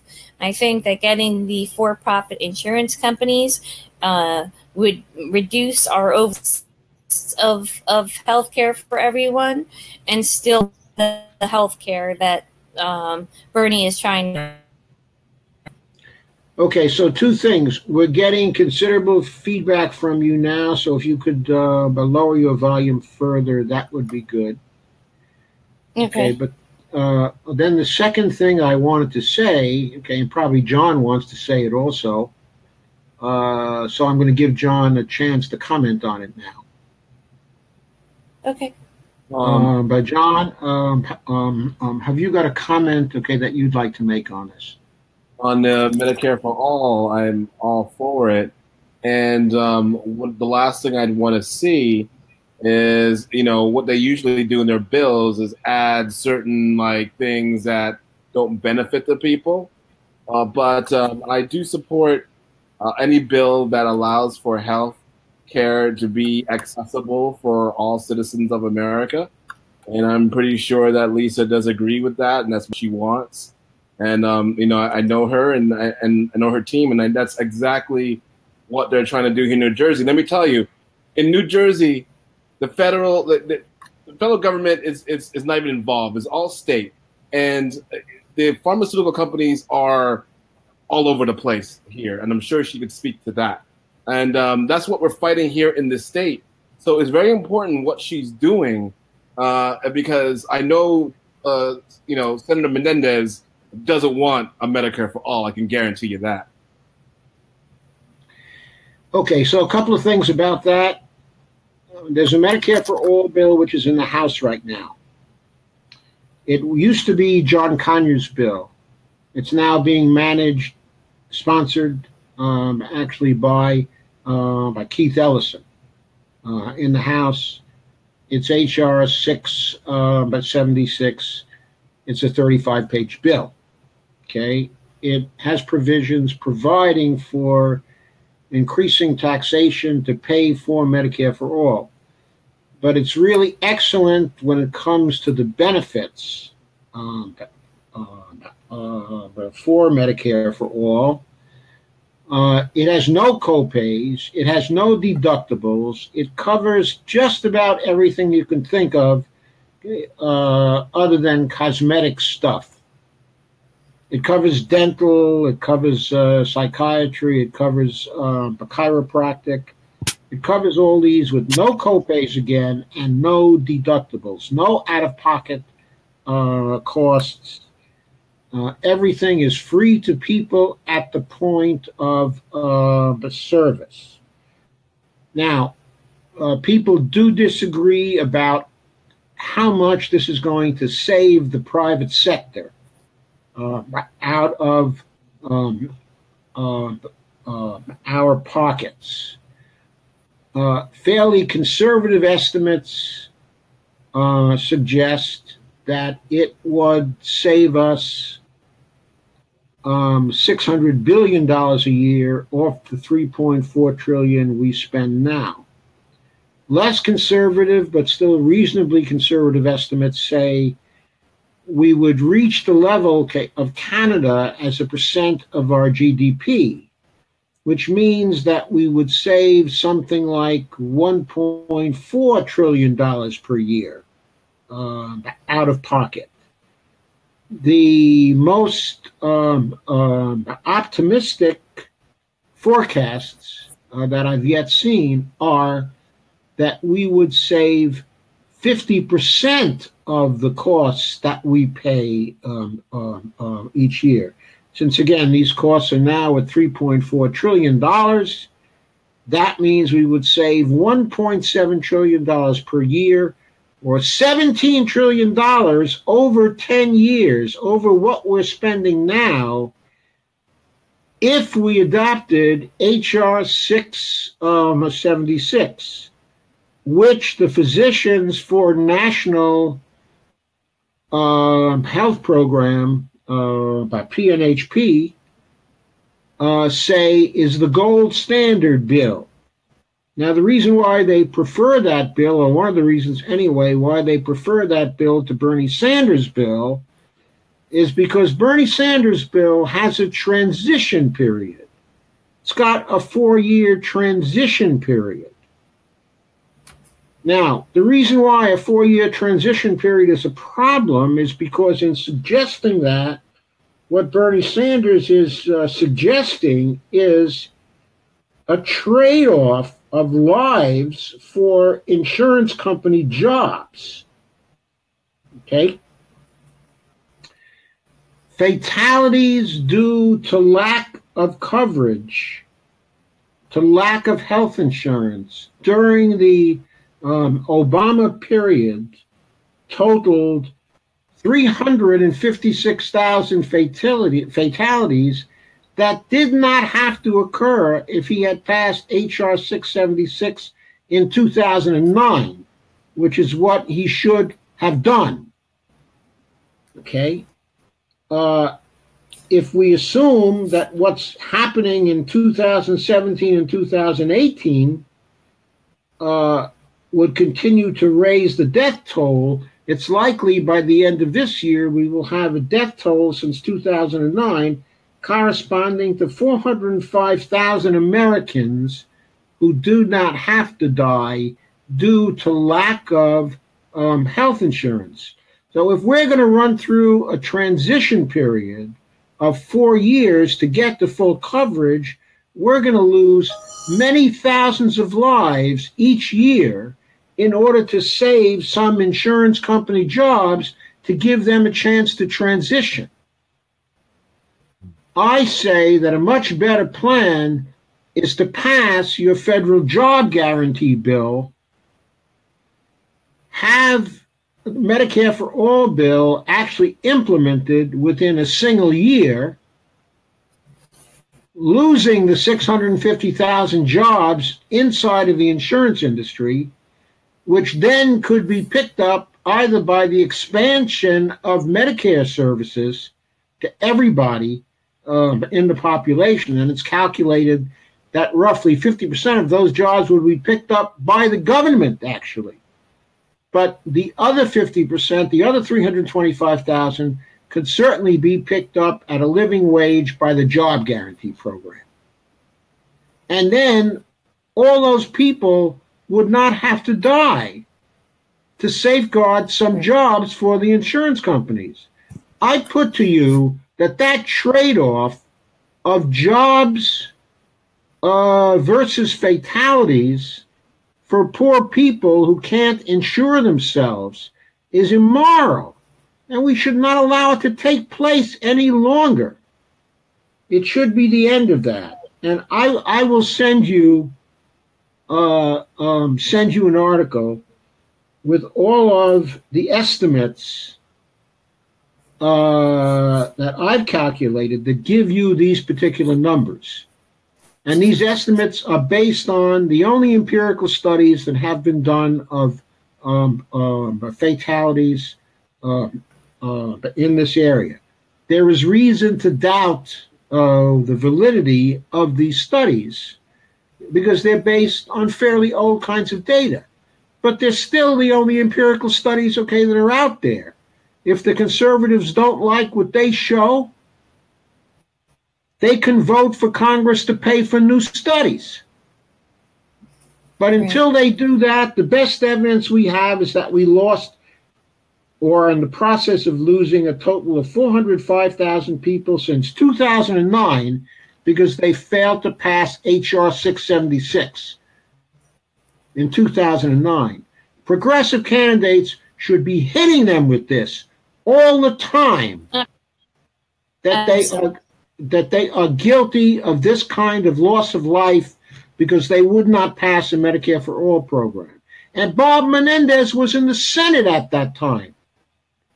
He was part of it. He was part of the refusal to pass the Medicare for All bill.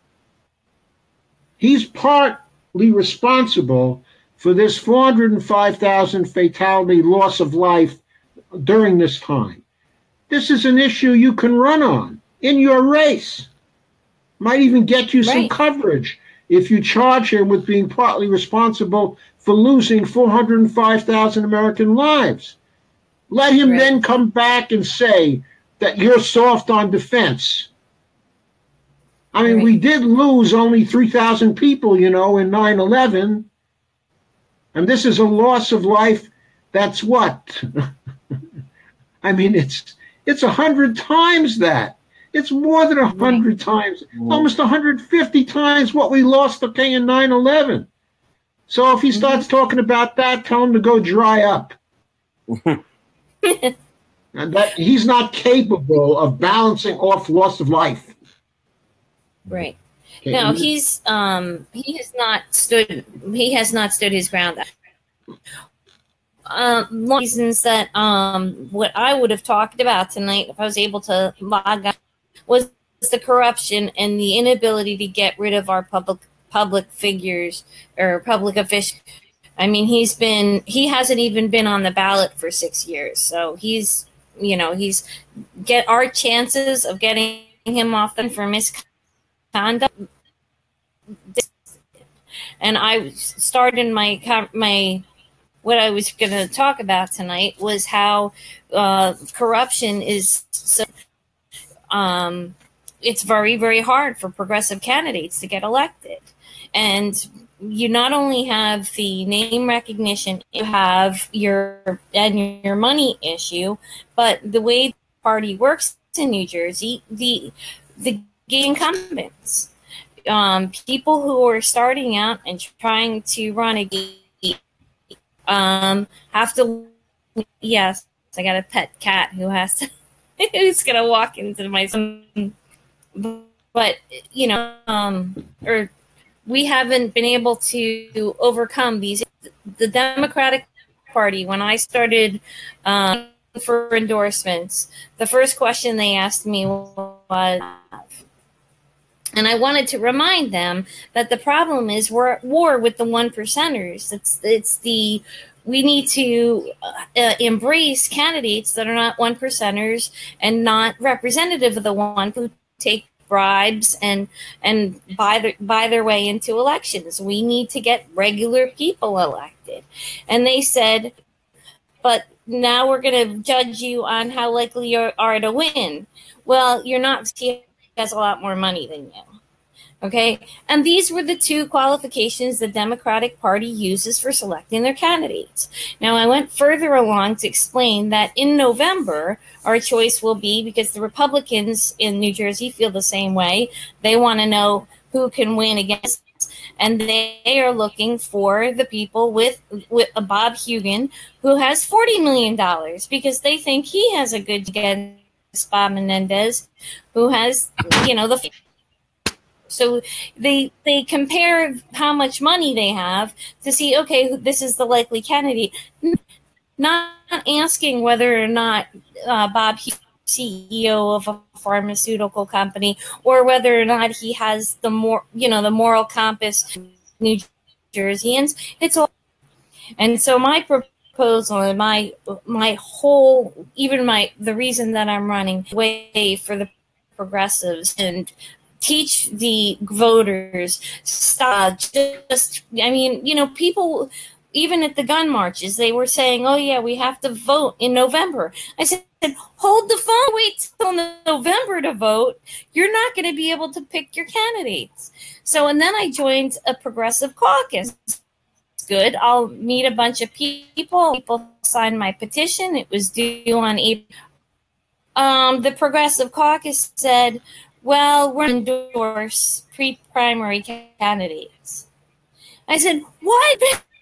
endorse. You're the progressive group. You're the uh, the Democratic okay, are Party. You, uh, were you talking about the Progressive Congressional Campaign Committee of the PCCC? Uh, no. No, this was uh, Progressive Caucus. It was a small uh, startup group. We have a lot of groups in New Jersey. Um, yeah, we have Our Revolution, we have Justice Democrats, we have Indivisible. And what I'm, I'm trying is remind we are the 99%. We're fighting the one percenters. So we have to stop fighting. And if you don't endorse and teach people to prior to the primary and you leave it up to the Democratic Party, their hands, you're getting millionaires and people who are buying your their way into the elections. Yes, now, I, I, I oh, we too certainly agree with that, and all of our people agree with that uh, also.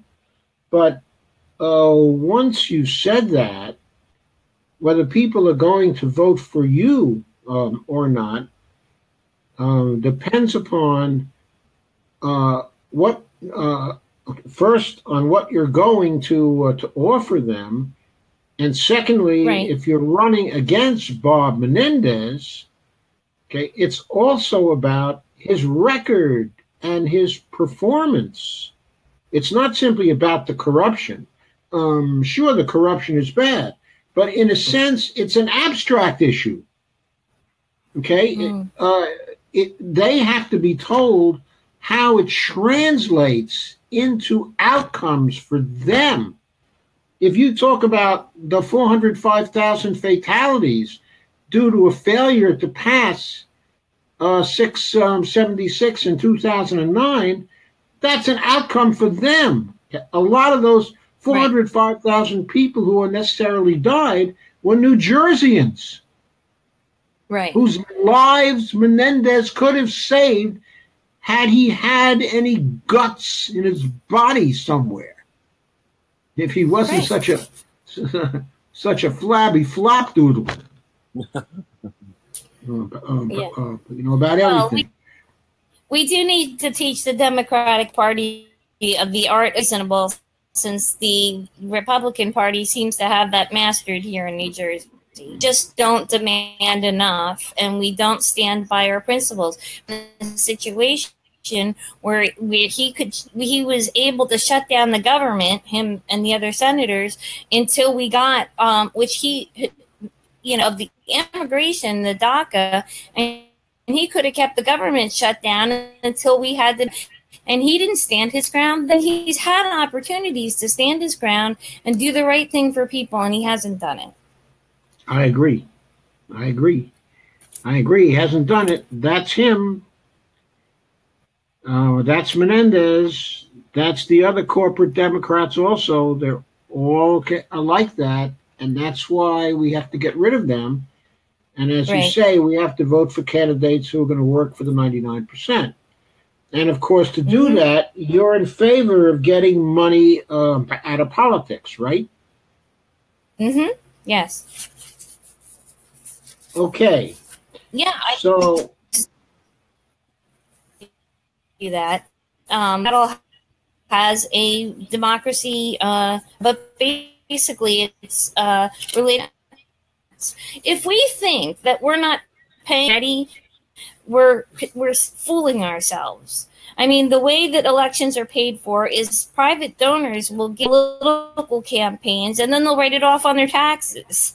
Well, why why have a middleman or someone who's going to be a private donor donator, why don't we just allow uh, the public financing of the elections so that and and it's not lobbyists and and buy up uh, officials. I mean, it it shouldn't be legal have lobbyists and Congress people uh, walking around, buddying around together. This is not a interest that should be eliminated and enforced. But another people, or until we can get rid of the corrupt people elected, we end up end up with these politicians that don't stand their ground, but we don't end up with a way to.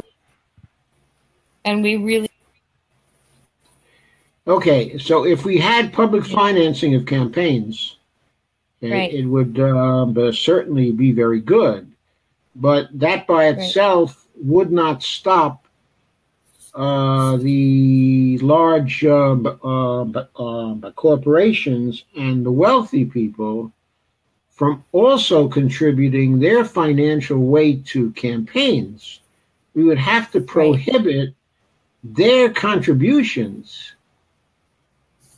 Uh, and if we prohibited their contributions, we would have to then, or Congress would have to contend with the Supreme Court which of course has said that that money is uh, speech and has used that to declare unconstitutional um, uh, uh, previous campaign finance bills that restricted uh, their contributions.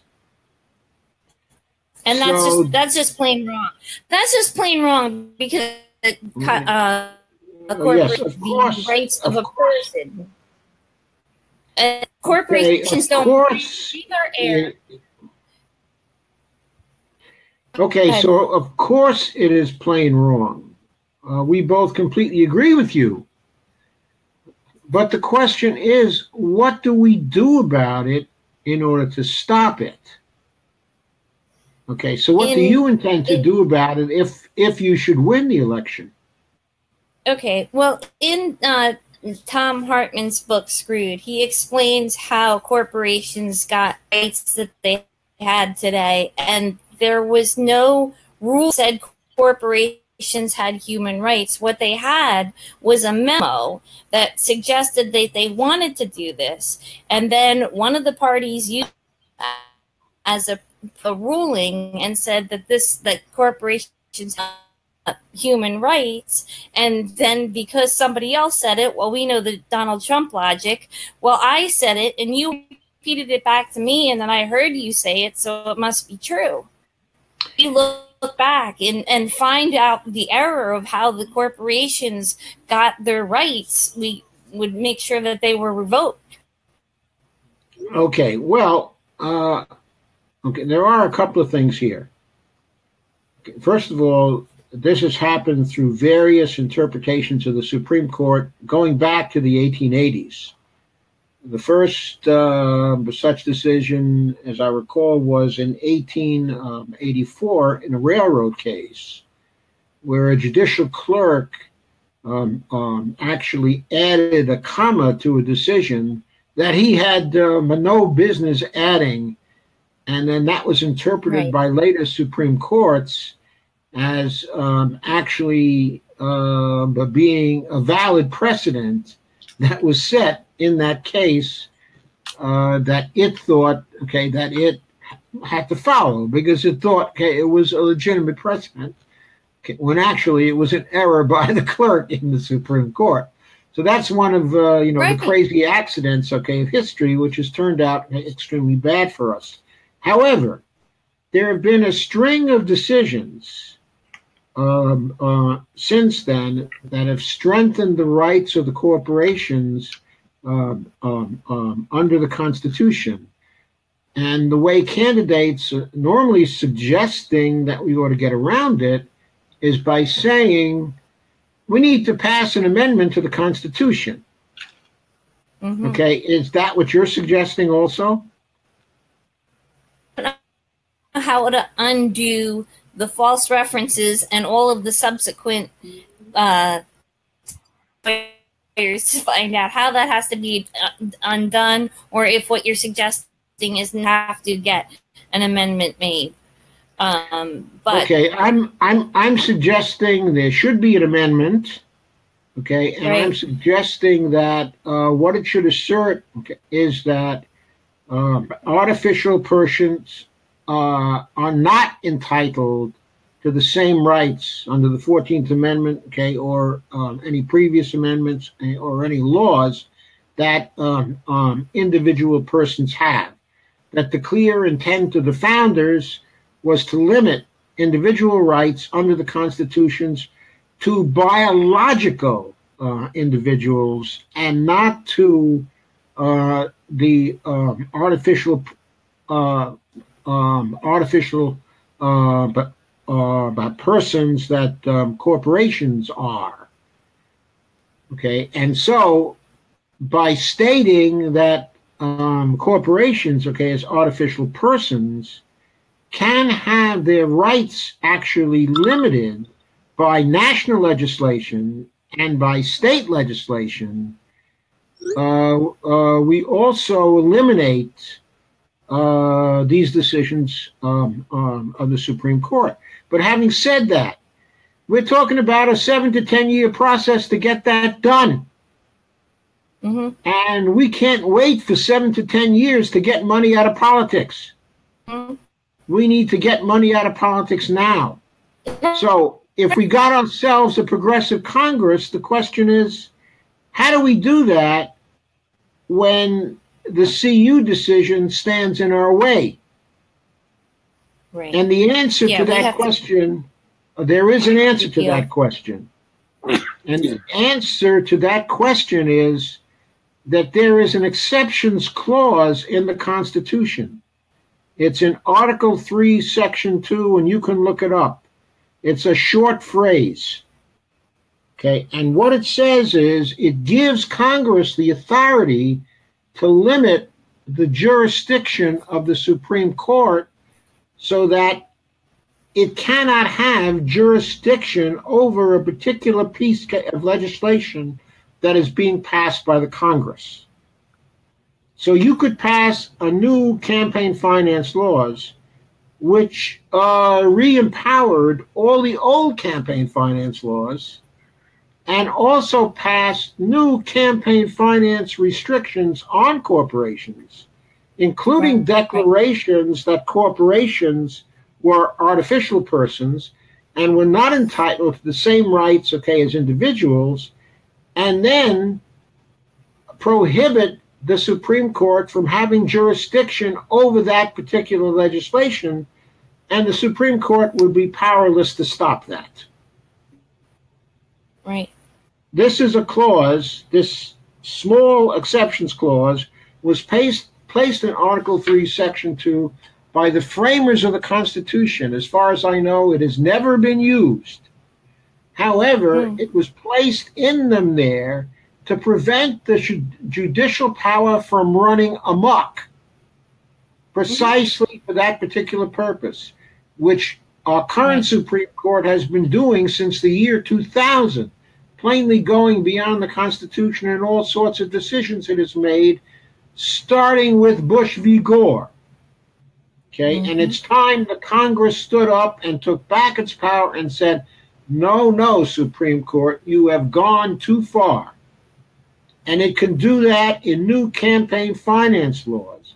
So I'm calling for you to support such campaign finance laws with that exceptions clause from Article 3, Section 2 in the campaign finance laws to prevent the Supreme Court from overturning uh, those laws.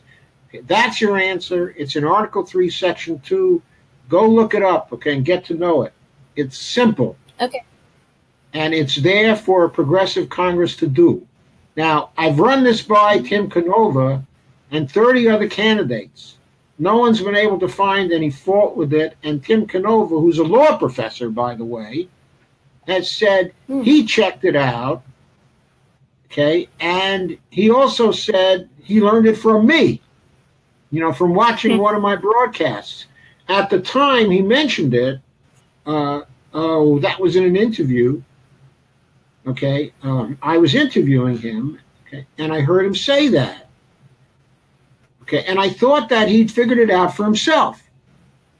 Okay. But then he followed up saying that he originally heard that from me and he checked it out and he agreed. Right. Okay, so I have the agreement of a law professor um, on this, and I don't have a contribu- uh, I don't have a contradiction uh, from any of the I don't know how many candidates. Okay, I've interviewed now. Okay, about this, and I've always brought this up.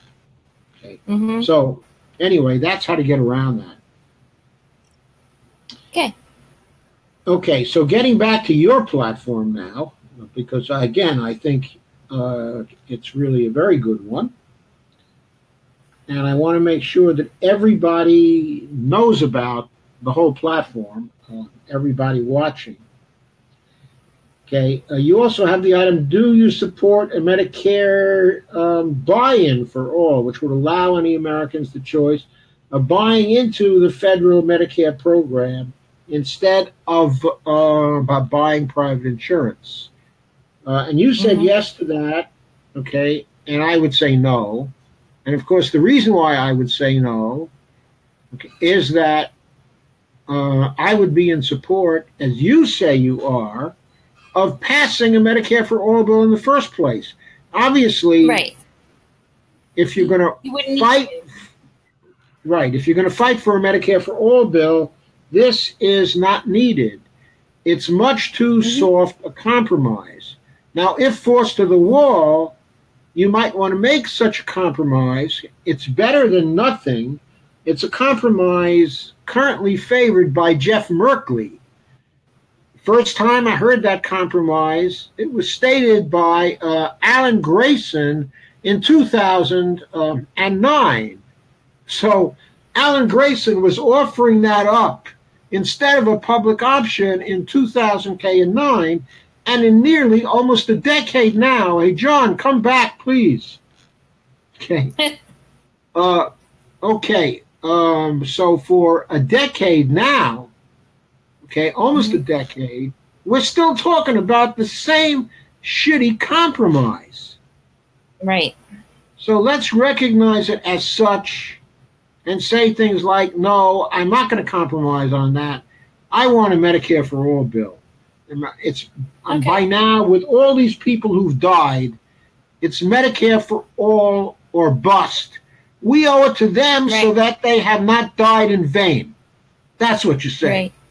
Just like what they say about our service people. Make sure they have not died in vain. Let's win this war so mm-hmm. they have not died in vain.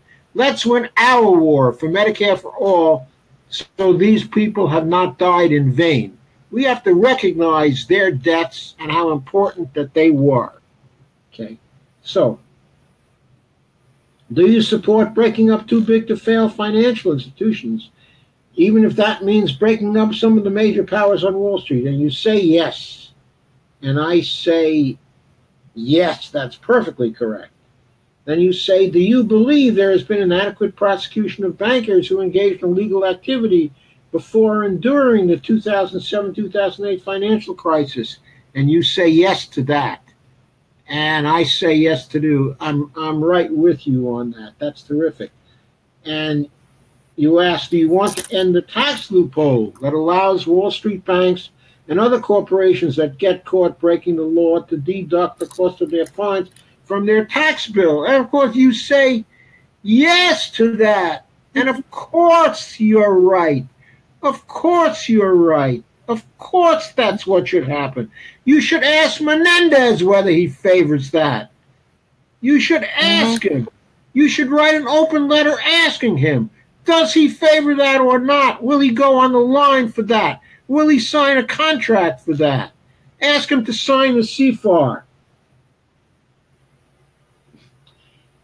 Okay, do you support uh, restoring the wall between commercial and investment banking, Glass-Steagall, to protect family savings from being used for risky Wall Street um, speculation? Well, I don't know about the second half of that because I don't think that uh, banks actually lend out the savings of families. What they do instead is they create money against the notes, okay, of loans. They're authorized by the Federal Reserve to do that. So it isn't based on the savings. And savings are right. protected in various ways. Okay, so that part of it, okay, is not right. But still, still, you want to stop financial crashes. And right. passing a successor to Glass-Steagall is something we need to do to stop these financial crashes, which are damaging to all of the rest of us. They mm-hmm. shouldn't be allowed to gamble on Wall Street and be banks that can draw against the resources of the Federal Reserve at the same time. The investment banks should not be banks in the sense that right. they're part of the Federal Reserve System. There has to be a wall right. there that doesn't allow them. And Goldman Sachs, in particular, should be kicked out of regular banking and put back where they were before Glass Steagall was repealed.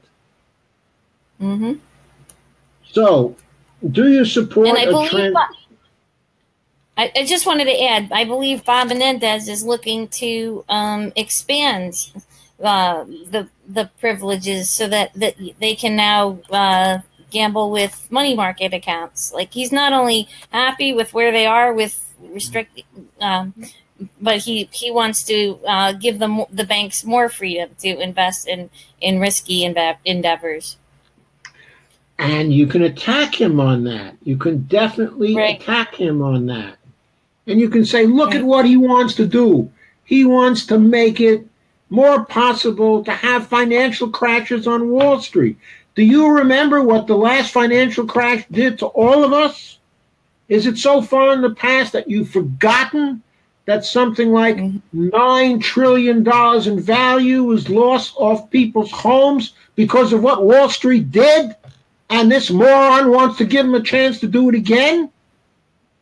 That's what you say. Right. That's what you run on.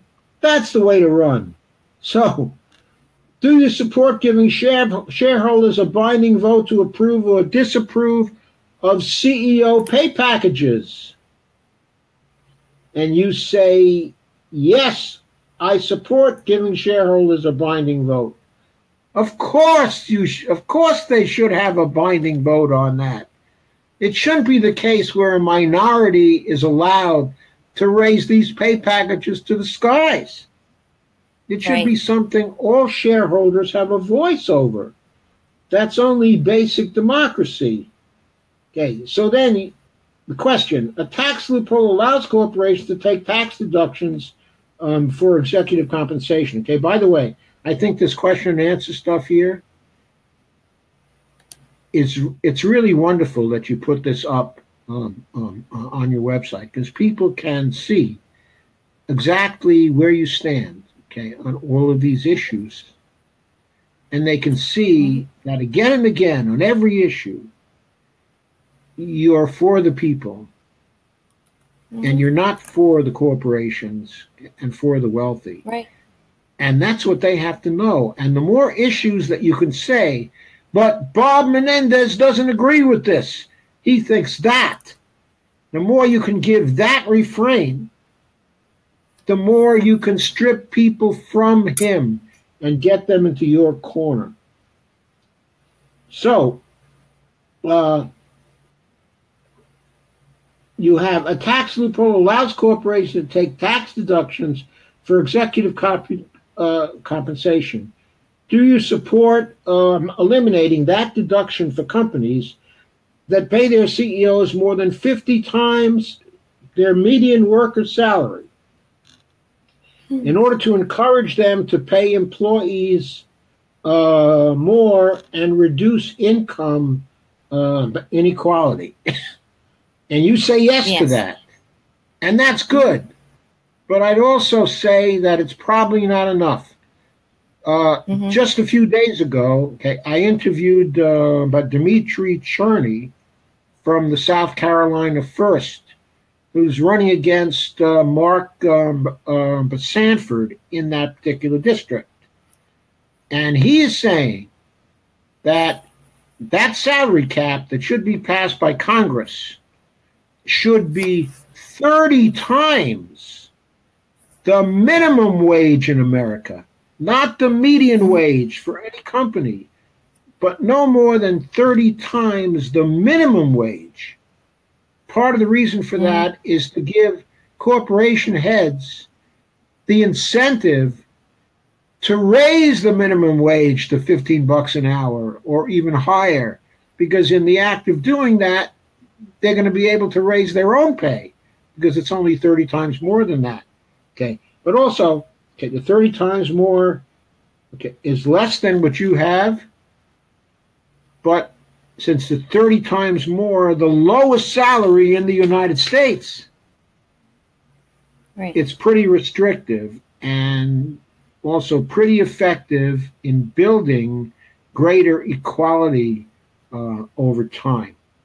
Okay, is there as mm-hmm. long as there are no loopholes, okay, and ways for them to get out of it. It has to be their total compensation, not just their salaries. Their total right. compensation has to be involved in doing that. So, uh, do you support Elizabeth Warren's call for a banking option through the U.S. Post Office to provide competition to Wall Street banks and give consumers more choice for basic services? Uh, and you say yes.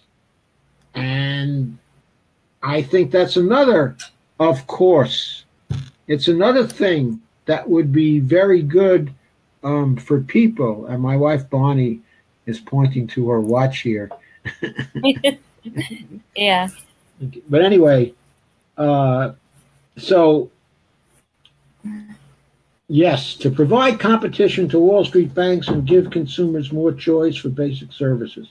Yes, I think postal banking would be wonderful. Uh, uh, all over Europe, it's done. It used to be done here. Okay, it works well. The private lobbies drove it out of existence here. We need that for the people. That's a wonderful thing. Do you support increasing income taxes on those making over 250,000 a year in wages or capital gains so that our system of taxation is more progressive and everyone pays their fair share. Uh, yes, I do support that. Uh, but uh, what I'll also say about that is if you push for that and you can't get support in Congress for doing something like that, but you can trade it off. Okay. You can trade it off. Okay, in order to get uh, something for people. Okay, uh, you know, you can make a bargain. Let the unfair taxation go on for a little longer.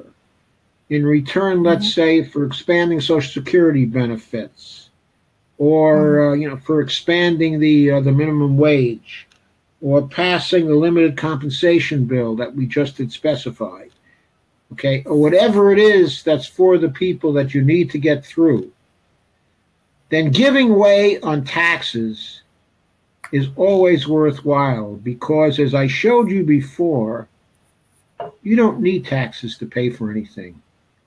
You only Right. need them to drain money from the economy so that we don't have an inflationary um, economy. And you've got $2.4 trillion in deficit spending to start with. And as GDP expands every year, that figure will be more because that Mhm. 12% of GDP that leaks out of the economy, that's going to happen every single year. Mhm.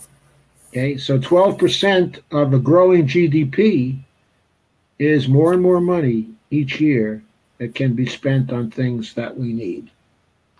So, uh, we've said a lot tonight, and it is two hours and 10 minutes. We're not through your whole platform. Uh, on all of these questions, other than the taxation questions, your platform is extremely progressive on one after another question. Okay, is there any answer that before we go uh, you would like to highlight? Mhm. Okay, or is Um, there any kind of overview statement, okay, that you would like to make uh, Yeah, uh, um, for our bunch? So somebody says, "Oh, Joe is out um, after curfew." Okay, he might have added, Yeah, "Yeah, no, Joe is out I- after curfew." yeah, I- Well, like I said, the, my my closing remark was just, um, you know, in order to um, in uh, make any of these changes, you know, we have to uh, first get elected. And I'm very happy that you have the support that you had tonight because it's the people today who are staying and paying attention to you and paying attention to politics that are are going to um, to help us uh, prevail. So. Okay. Uh, okay, so uh, there are a few things, okay, that I would like to say. Uh, those things relate, first of all, um, to your donation page. Where can people find that page? Uh, Yeah, it's- it's at the moved To website. make a donation. Yeah, it's the www.lisamccormick.org website and it's slash donate. so it's actually on my website. Okay. Okay, thank you. And then Thank uh, you, Joe. Uh, one more question for you, Lisa. hmm Uh, okay, what day is your primary? June 5th. Okay, I thought it was something like that. Now, um, um, um, if you lose, are you going to continue your run as an independent? No. No, the, the way New Jersey's, um, I am going to run again for something else, uh, probably assembly, but the way um, New Jersey set up, in order to have a chance at the um, at the election process, you need to attack the Democratic par- uh, primary. The Democratic primary, you need the fewest number of votes, and you have the most elect um, most educated voters.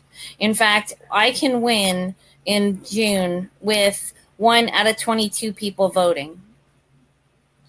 Okay, and what is that, um, the total for the state? The total number is about 250,000. So if you get 250,000 people voting for you on June 5th, uh, then you think you can win. Yes. Okay, and you don't Yes. think I that mean- Bob Menendez can get more than 250,000 people. He is the least uh, favorite candidate out there. My experience with um, talking to people, I've had people ask me, "Can I sign your petition six times? I really want to get rid of this guy." So he's he's getting his diehard supporters that are going to come out, whether it rains or or snows, um, and, and, he's probably going to get close to what he got. Uh, the last time, which was I think of something 175,000 votes or something like that. Um, but there isn't he he doesn't inspire anyone to come out. So anybody who doesn't care, who is on the fence, my voters, they have to be inspired. They have to know that they have a choice, and they have to realize that you know that there's a lot of good that can come from um, electing me. And everybody I've talked to was very excited just knowing that they have the choice. Okay, so uh, Russell Gorman, one of our very active commenters, says, let her come back and finish going over her platform. okay. Would you like to come back sometime uh, before the election to finish going over your platform? Sure. Okay, if you'd like do you to have do that. in mind? I don't have Okay, a specific date in mind as yet because I have to check the schedule. But uh, we Okay. here would very much like to see you win. Okay? Okay. And we'd like to see Bob lose. Yes. So uh, we would be really very pleased at that particular result. I can tell you, though, that if he loses, he will probably come back and try to run as an independent. he can try. It's not likely in in the dem in in New Jersey. We have we have been a blue state, and we have had so many successful Democrats running the state. It's hard for us to get a Republican elected, and they've got a a, a- a fair share of voters that come out just like the Democrats, rain or shine, and you know they're starting with the bigger numbers. So as an independent, you're already starting at less than what the what the uh, one of the main two parties can bring you, which is makes it that much more of an expensive race and that much more of an uphill battle. Okay, Lisa. Well, um, right. thank you very much for this interview. Okay, I'm going to uh, to let you uh, go now.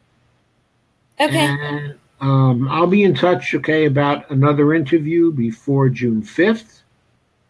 Okay, Mm-hmm. I wish you luck until then. I hope you rip into them hard now because time is getting Okay. short. Right. Okay, right, good luck, Lisa. Bye. Thank- Okay, so uh, uh, here we are again.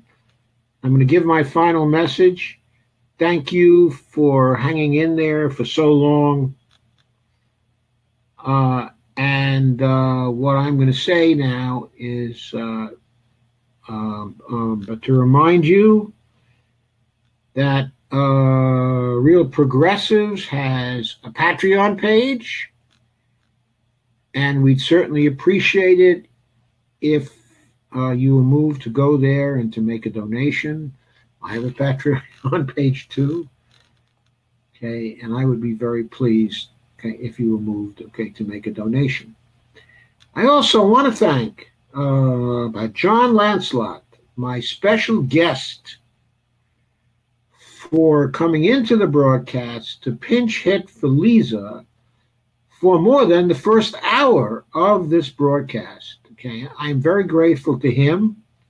He was his usual, very, very um, combative and fighting self. I've really always enjoyed uh, talking with Jon.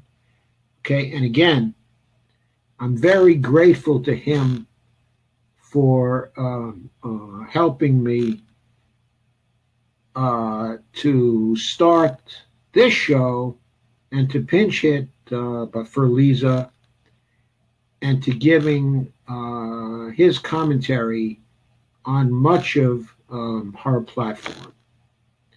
So, um, a good night now. Uh, I will certainly thank Jon um, after the broadcast is over and thank Lisa um, um, as well. And um, I'll send some figures and some documents to both to help them in their campaign. Okay. So thank you very much, um, everyone. Okay. And good night again. Yeah. Kudos to Jon, Mark.